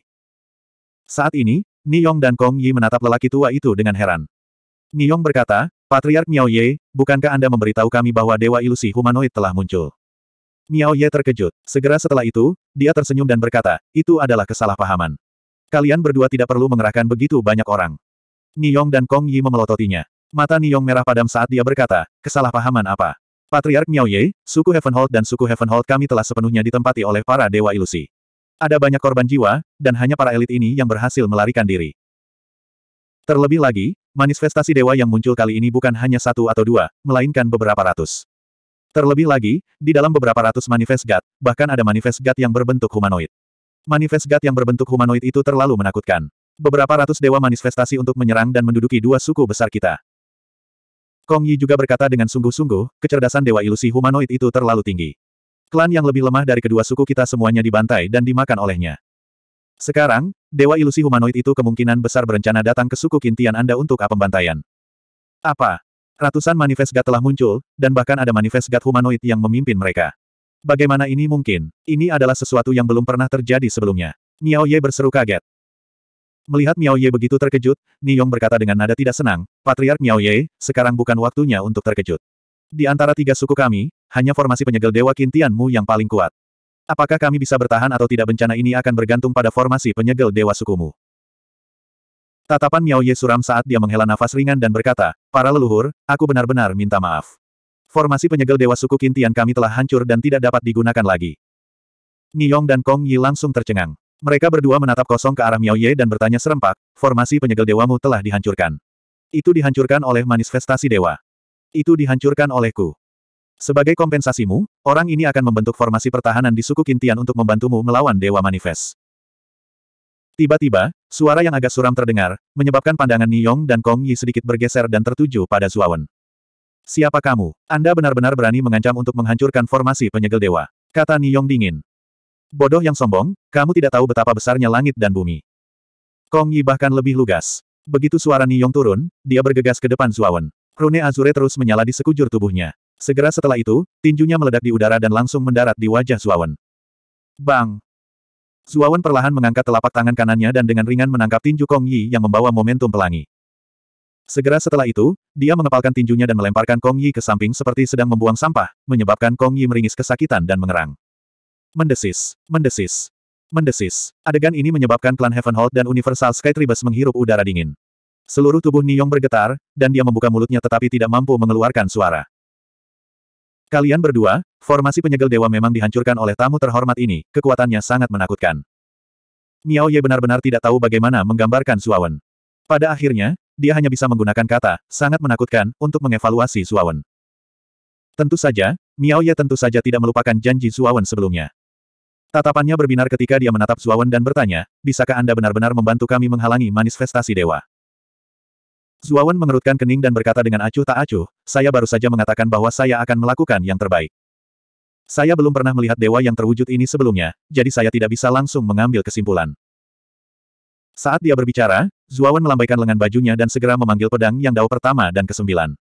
Pada saat yang sama, dia juga mengeluarkan artefak suci yang menantang surga, Long River Blade dan Valet Sword. Pedang pertama, kesembilan, pedang sungai panjang, dan pedang valet berubah menjadi empat pelangi panjang yang terbang ke langit dan berhenti di langit di atas suku Kintian. Di sisi lain, Zuo Wen maju selangkah dan menjentikkan jarinya. Dia mengeluarkan pedang, pedang, tombak, tombak, busur, dan berbagai artefak suci lainnya dari cincinnya. Jumlahnya ratusan. Sebagian besar artefak suci ini diambil dari cincin roh para suci yang dia bunuh dalam beberapa tahun terakhir. Sebagian darinya juga diambil dari Azure Dragon Hall. Tentu saja, nilai artefak suci ini tidak terlalu tinggi. Zuawan pada dasarnya tidak menggunakannya secara normal. Namun, Zuawan mengembangkan pembatasan kutukan melahap, yang mencatat formasi pembatasan yang disebut formasi 100 prajurit suci. Itu cukup kuat. Yang paling penting, formasi 100 prajurit suci relatif mudah untuk diatur. Itu bisa diatur dalam waktu singkat. Namun, formasi 100 prajurit suci membutuhkan artefak suci dalam jumlah besar. Tanpa artefak suci yang cukup, mustahil untuk menampilkan kekuatan formasi 100 prajurit suci. Ratusan senjata suci terbang ke udara, mengelilingi suku Kintian. Dengan pedang Yang Wei pertama, pedang yang kesembilan, pedang sungai panjang, dan pedang valet sebagai intinya, mereka membentuk formasi yang sangat kuat. Orang-orang dari suku Kintian memandangi beberapa ratus artefak suci yang melayang di langit dan formasi seratus prajurit suci. Mereka jelas bisa merasakan teror formasi ini. Hal ini terutama terjadi pada anggota suku dari suku Kintian. Aura formasi seratus prajurit suci bahkan lebih kuat daripada formasi penyegel dewa mereka. Bagaimanapun, bahan mentah dari formasi ini adalah artefak suci yang sangat langka. Ini, ini, ini, ini, terima kasih Tuan. Miao Ye membungkuk pada Zuawan. Pada saat ini, dia juga telah mengubah cara dia memanggil Zuawan. Dialah yang paling merasakannya. Formasi seratus prajurit suci ini jauh lebih kuat daripada formasi penyegel dewa. Saat ini, Kong Yi juga hampir tidak bisa bangun dengan bantuan anggota sukunya. Dia juga merasakan aura kuat dari formasi seratus prajurit suci. Wajahnya sedikit pucat. Diam-diam dia kesal karena dia telah menyerang pemuda ini sebelumnya. Niyong juga menatap Zuo Wen dengan ketakutan di matanya. Sungguh tak terbayangkan bahwa tubuh pemuda yang tampak lemah ini ternyata mengandung kekuatan yang begitu menakutkan. Suara mendesing. Suara mendesing. Suara mendesing. Tiba-tiba, beberapa lusin li jauhnya dari suku Kintian, sosok hitam bergegas mendekat. Ke mana pun sosok hitam ini lewat, rumput hijau di tanah akan layu. Di saat yang sama, mereka diiringi tawa yang aneh. Di dalam suku Kintian, Zuawan sepertinya merasakan sesuatu. Matanya menyipit saat dia menatap cakrawala di depannya. Dia dengan dingin berkata, sepertinya dewa ilusi yang kamu bicarakan telah tiba. Miao Ye dan yang lainnya mengikuti pandangan Zuawan. Benar saja, awan hitam yang agak tebal mengalir dari cakrawala. Setelah diperiksa lebih dekat, ada beberapa sosok hitam besar di dalam awan hitam. Itu dewa ilusi. Memang ada banyak sekali dewa ilusi. Apakah mereka berencana menghancurkan ketiga suku kita? Miao Ye menghirup udara dingin dan berkata dengan suara gemetar. Awan hitam itu sangat cepat. Dalam waktu sekitar 15 menit, ia telah tiba di atas suku Kintian dari jarak beberapa puluh li. Mata Zuawan seperti obor. Dia segera melihat bahwa awan hitam itu sebenarnya terbentuk oleh binatang hitam yang menggeliat. Sekilas, ada beberapa ratus binatang hitam di awan hitam. Mereka memiliki berbagai bentuk dan ukuran, memperlihatkan taring dan mengacungkan cakarnya. Di bagian paling depan dari awan hitam itu ada seorang pemuda berpakaian hitam. Dia berjalan selangkah demi selangkah, jubahnya berkibar tertiup angin. Matanya sedingin pisau. Pemuda berpakaian hitam di hadapannya tidak berbeda dengan manusia.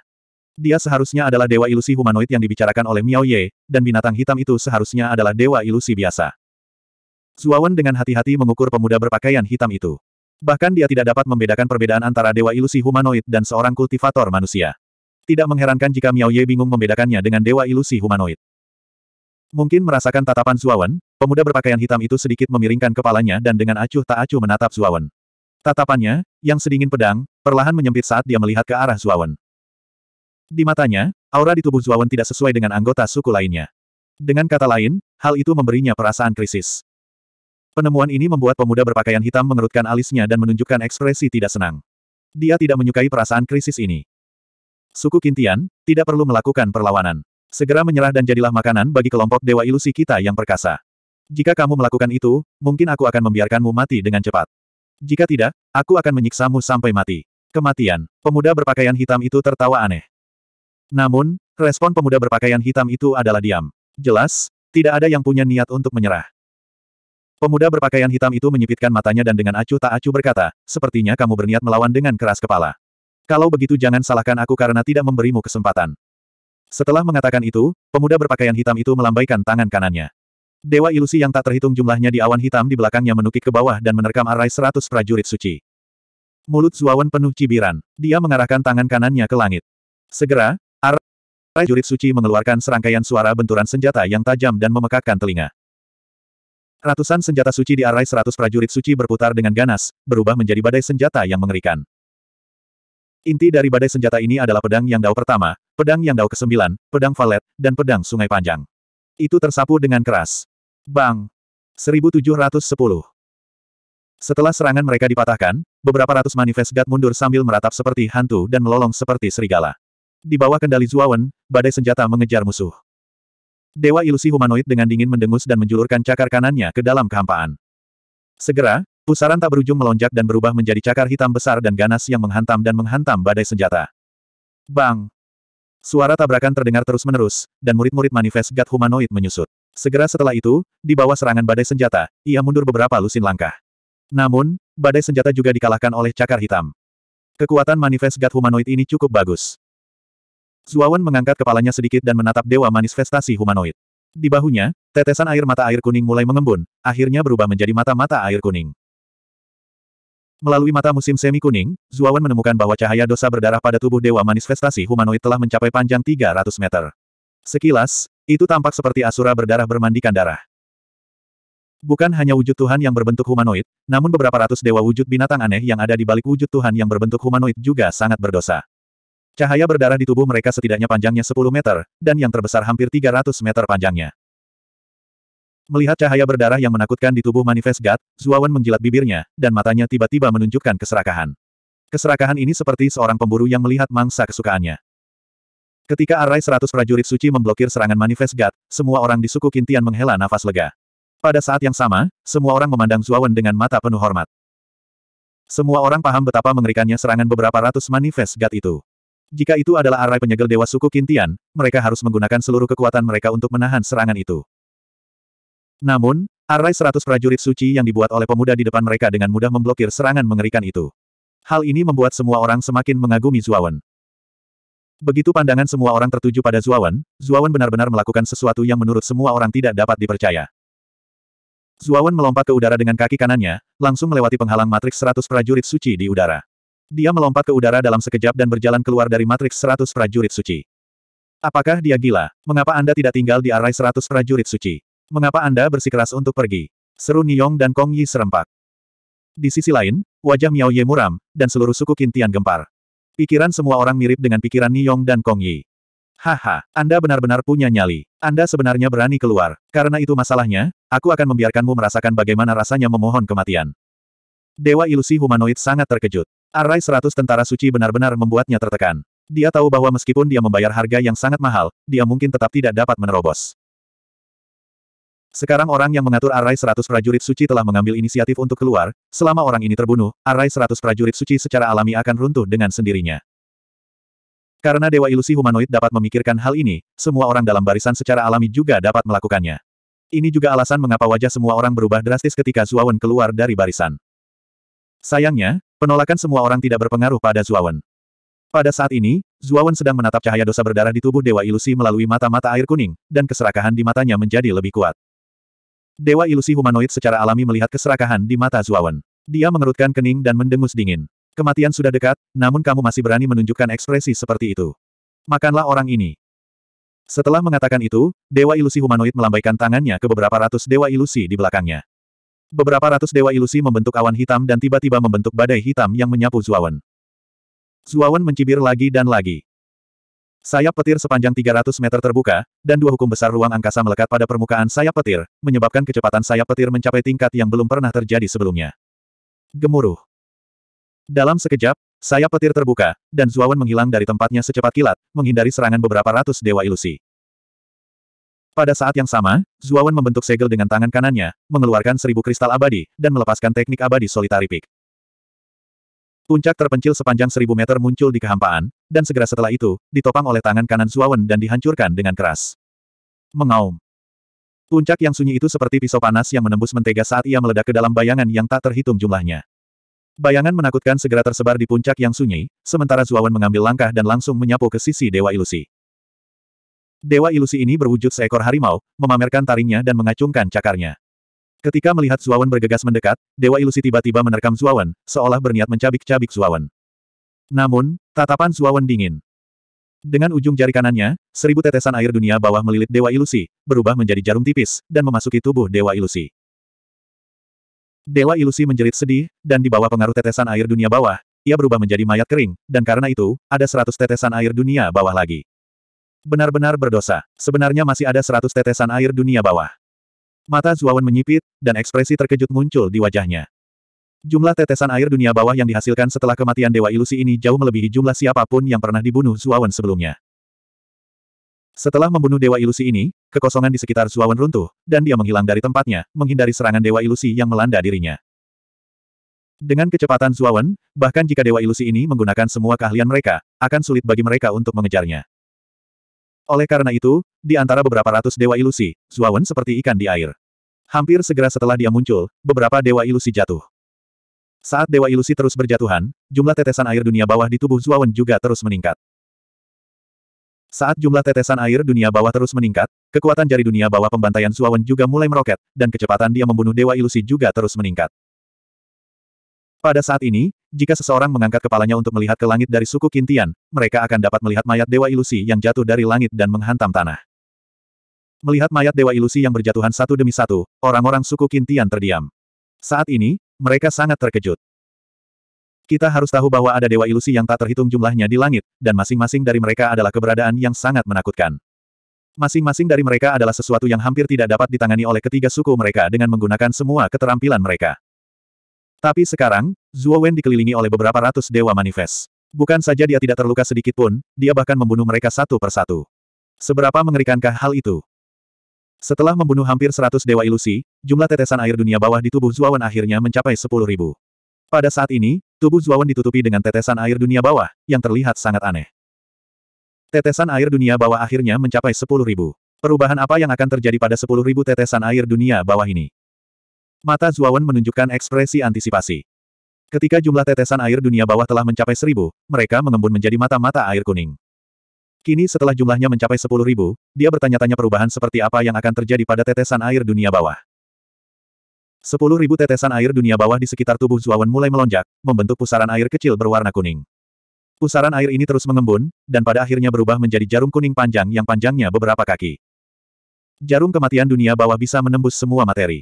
Ia berani mengirim makhluk hidup apa pun ke dunia bawah. Sebuah pesan halus dikirimkan ke dalam pikiran Zuawan, memperkenalkan jarum kematian dunia bawah yang tipis dan panjang yang muncul di depannya. Ketika dia melihat sepuluh ribu tetesan air dunia bawah hanya membentuk jarum panjang, mata Zuawan menunjukkan sedikit kekecewaan. Awalnya, dia mengira itu akan membentuk sesuatu yang sangat kuat, tapi dia tidak menyangka itu hanya akan mengembun menjadi jarum panjang yang tampak biasa di depannya. Astaga, astaga, astaga. Saat Zuawan dalam keadaan linglung, dewa ilusi di sekitarnya bergegas mendekat, membuka mulut mereka yang berdarah saat mereka mencoba menelan Zuawan. Zuawan menjentikan jarinya, menembakkan jarum kematian dunia bawah yang baru saja mengembun di tangannya. Jarum kematian dunia bawah langsung berubah menjadi pelangi kuning, dan kecepatannya sangat cepat. Bang! Sinar cahaya kuning menembus dewa ilusi yang bergegas mendekat. Segera setelah itu, tubuh para dewa ilusi itu runtuh dan berubah menjadi mayat kering bahkan sebelum mereka sempat bereaksi. Sangat cepat, sebenarnya sangat kuat. Mata Zuawan menyipit, dan kekecewaan di matanya segera hilang, digantikan oleh kegembiraan. Jarum kematian dunia bawah jauh lebih kuat daripada tetesan air dunia bawah sebelumnya. Suara mendesing, suara mendesing, suara mendesing. Jarum kematian dunia bawah terlalu cepat. Ke mana pun ia melewatinya, akan ada tumpukan mayat dan lautan darah. Tak satu pun dari Dewa Ilusi yang cukup beruntung untuk melarikan diri, dan mereka semua menjadi jiwa di bawah jarum kematian dunia bawah. Melihat adegan ini, Dewa Ilusi humanoid terkejut sekaligus marah. Dia mengeluarkan raungan keras dan bergegas mendekat seperti seekor burung besar yang melebarkan sayapnya. Cakar kanannya terentang, meraih Zuawan. Mata Zuawan tenang saat dia mengarahkan jari pedang di tangan kanannya. Tiba-tiba, jarum kematian dunia bawah melesat seperti pelangi, langsung menuju ke ruang di antara alis Dewa Ilusi Humanoid. Dewa Ilusi Humanoid secara alami merasakan ketajaman jarum kematian dunia bawah. Dia meraung pelan dan mengarahkan jari pedang tangan kanannya ke kekosongan. Kabut hitam yang tak terhitung jumlahnya menyembur keluar, berubah menjadi batu hitam besar. Ding! Jarum kematian dunia bawah menghantam batu hitam itu, dan momentum ke depannya sedikit terhenti. Namun, batu hitam itu tidak menghentikan jarum kematian dunia bawah dalam waktu lama sebelum akhirnya roboh. Jarum kematian dunia bawah bersiul dan terus berlari menuju Dewa Ilusi Humanoid. Dewa Ilusi Humanoid mundur selangkah demi selangkah, dan sedikit ketakutan akhirnya muncul di matanya. Jarum kematian dunia bawah terlalu kuat, dan pertahanan yang dia buat tidak berguna. Semuanya roboh. Puncak kesendirian. Tangan kanan Zuawan menunjuk ke kehampaan, dan puncak terpencil setinggi seribu kaki menyapu ke belakang Dewa Ilusi Humanoid dalam sekejap. Dalam sekejap, Dewa Ilusi Humanoid terjebak dalam dilema. Di depannya ada Underworld Death Needle, dan di belakangnya ada puncak terpencil setinggi seribu kaki. Bertarung. Ilusi humanoid mata Tuhan menunjukkan sentuhan kegilaan. Dia menggigit ujung lidahnya dan mengeluarkan seteguk darah esensi. Begitu darah esensi muncul, ia mulai menggeliat dan akhirnya berubah menjadi tangan berdarah berukuran beberapa ratus kaki. Tangan berdarah itu langsung meluncur ke arah Underworld Death Needle di depannya. Ke mana pun tangan itu lewat, bau amis akan tercium. Darahnya sangat banyak. Siapa yang tahu berapa banyak makhluk yang mati di bawah tangan ini? Bang! Saat tangan berdarah itu meledak, awan kabut darah meledak. Jarum kematian dunia bawah seperti pisau panas yang menembus mentega, menembus tangan yang berdarah dengan kecepatan yang sangat cepat. Dalam sekejap, benda itu telah menembus tangan yang berdarah dan mengebor ke dahi dewa ilusi humanoid. Poci!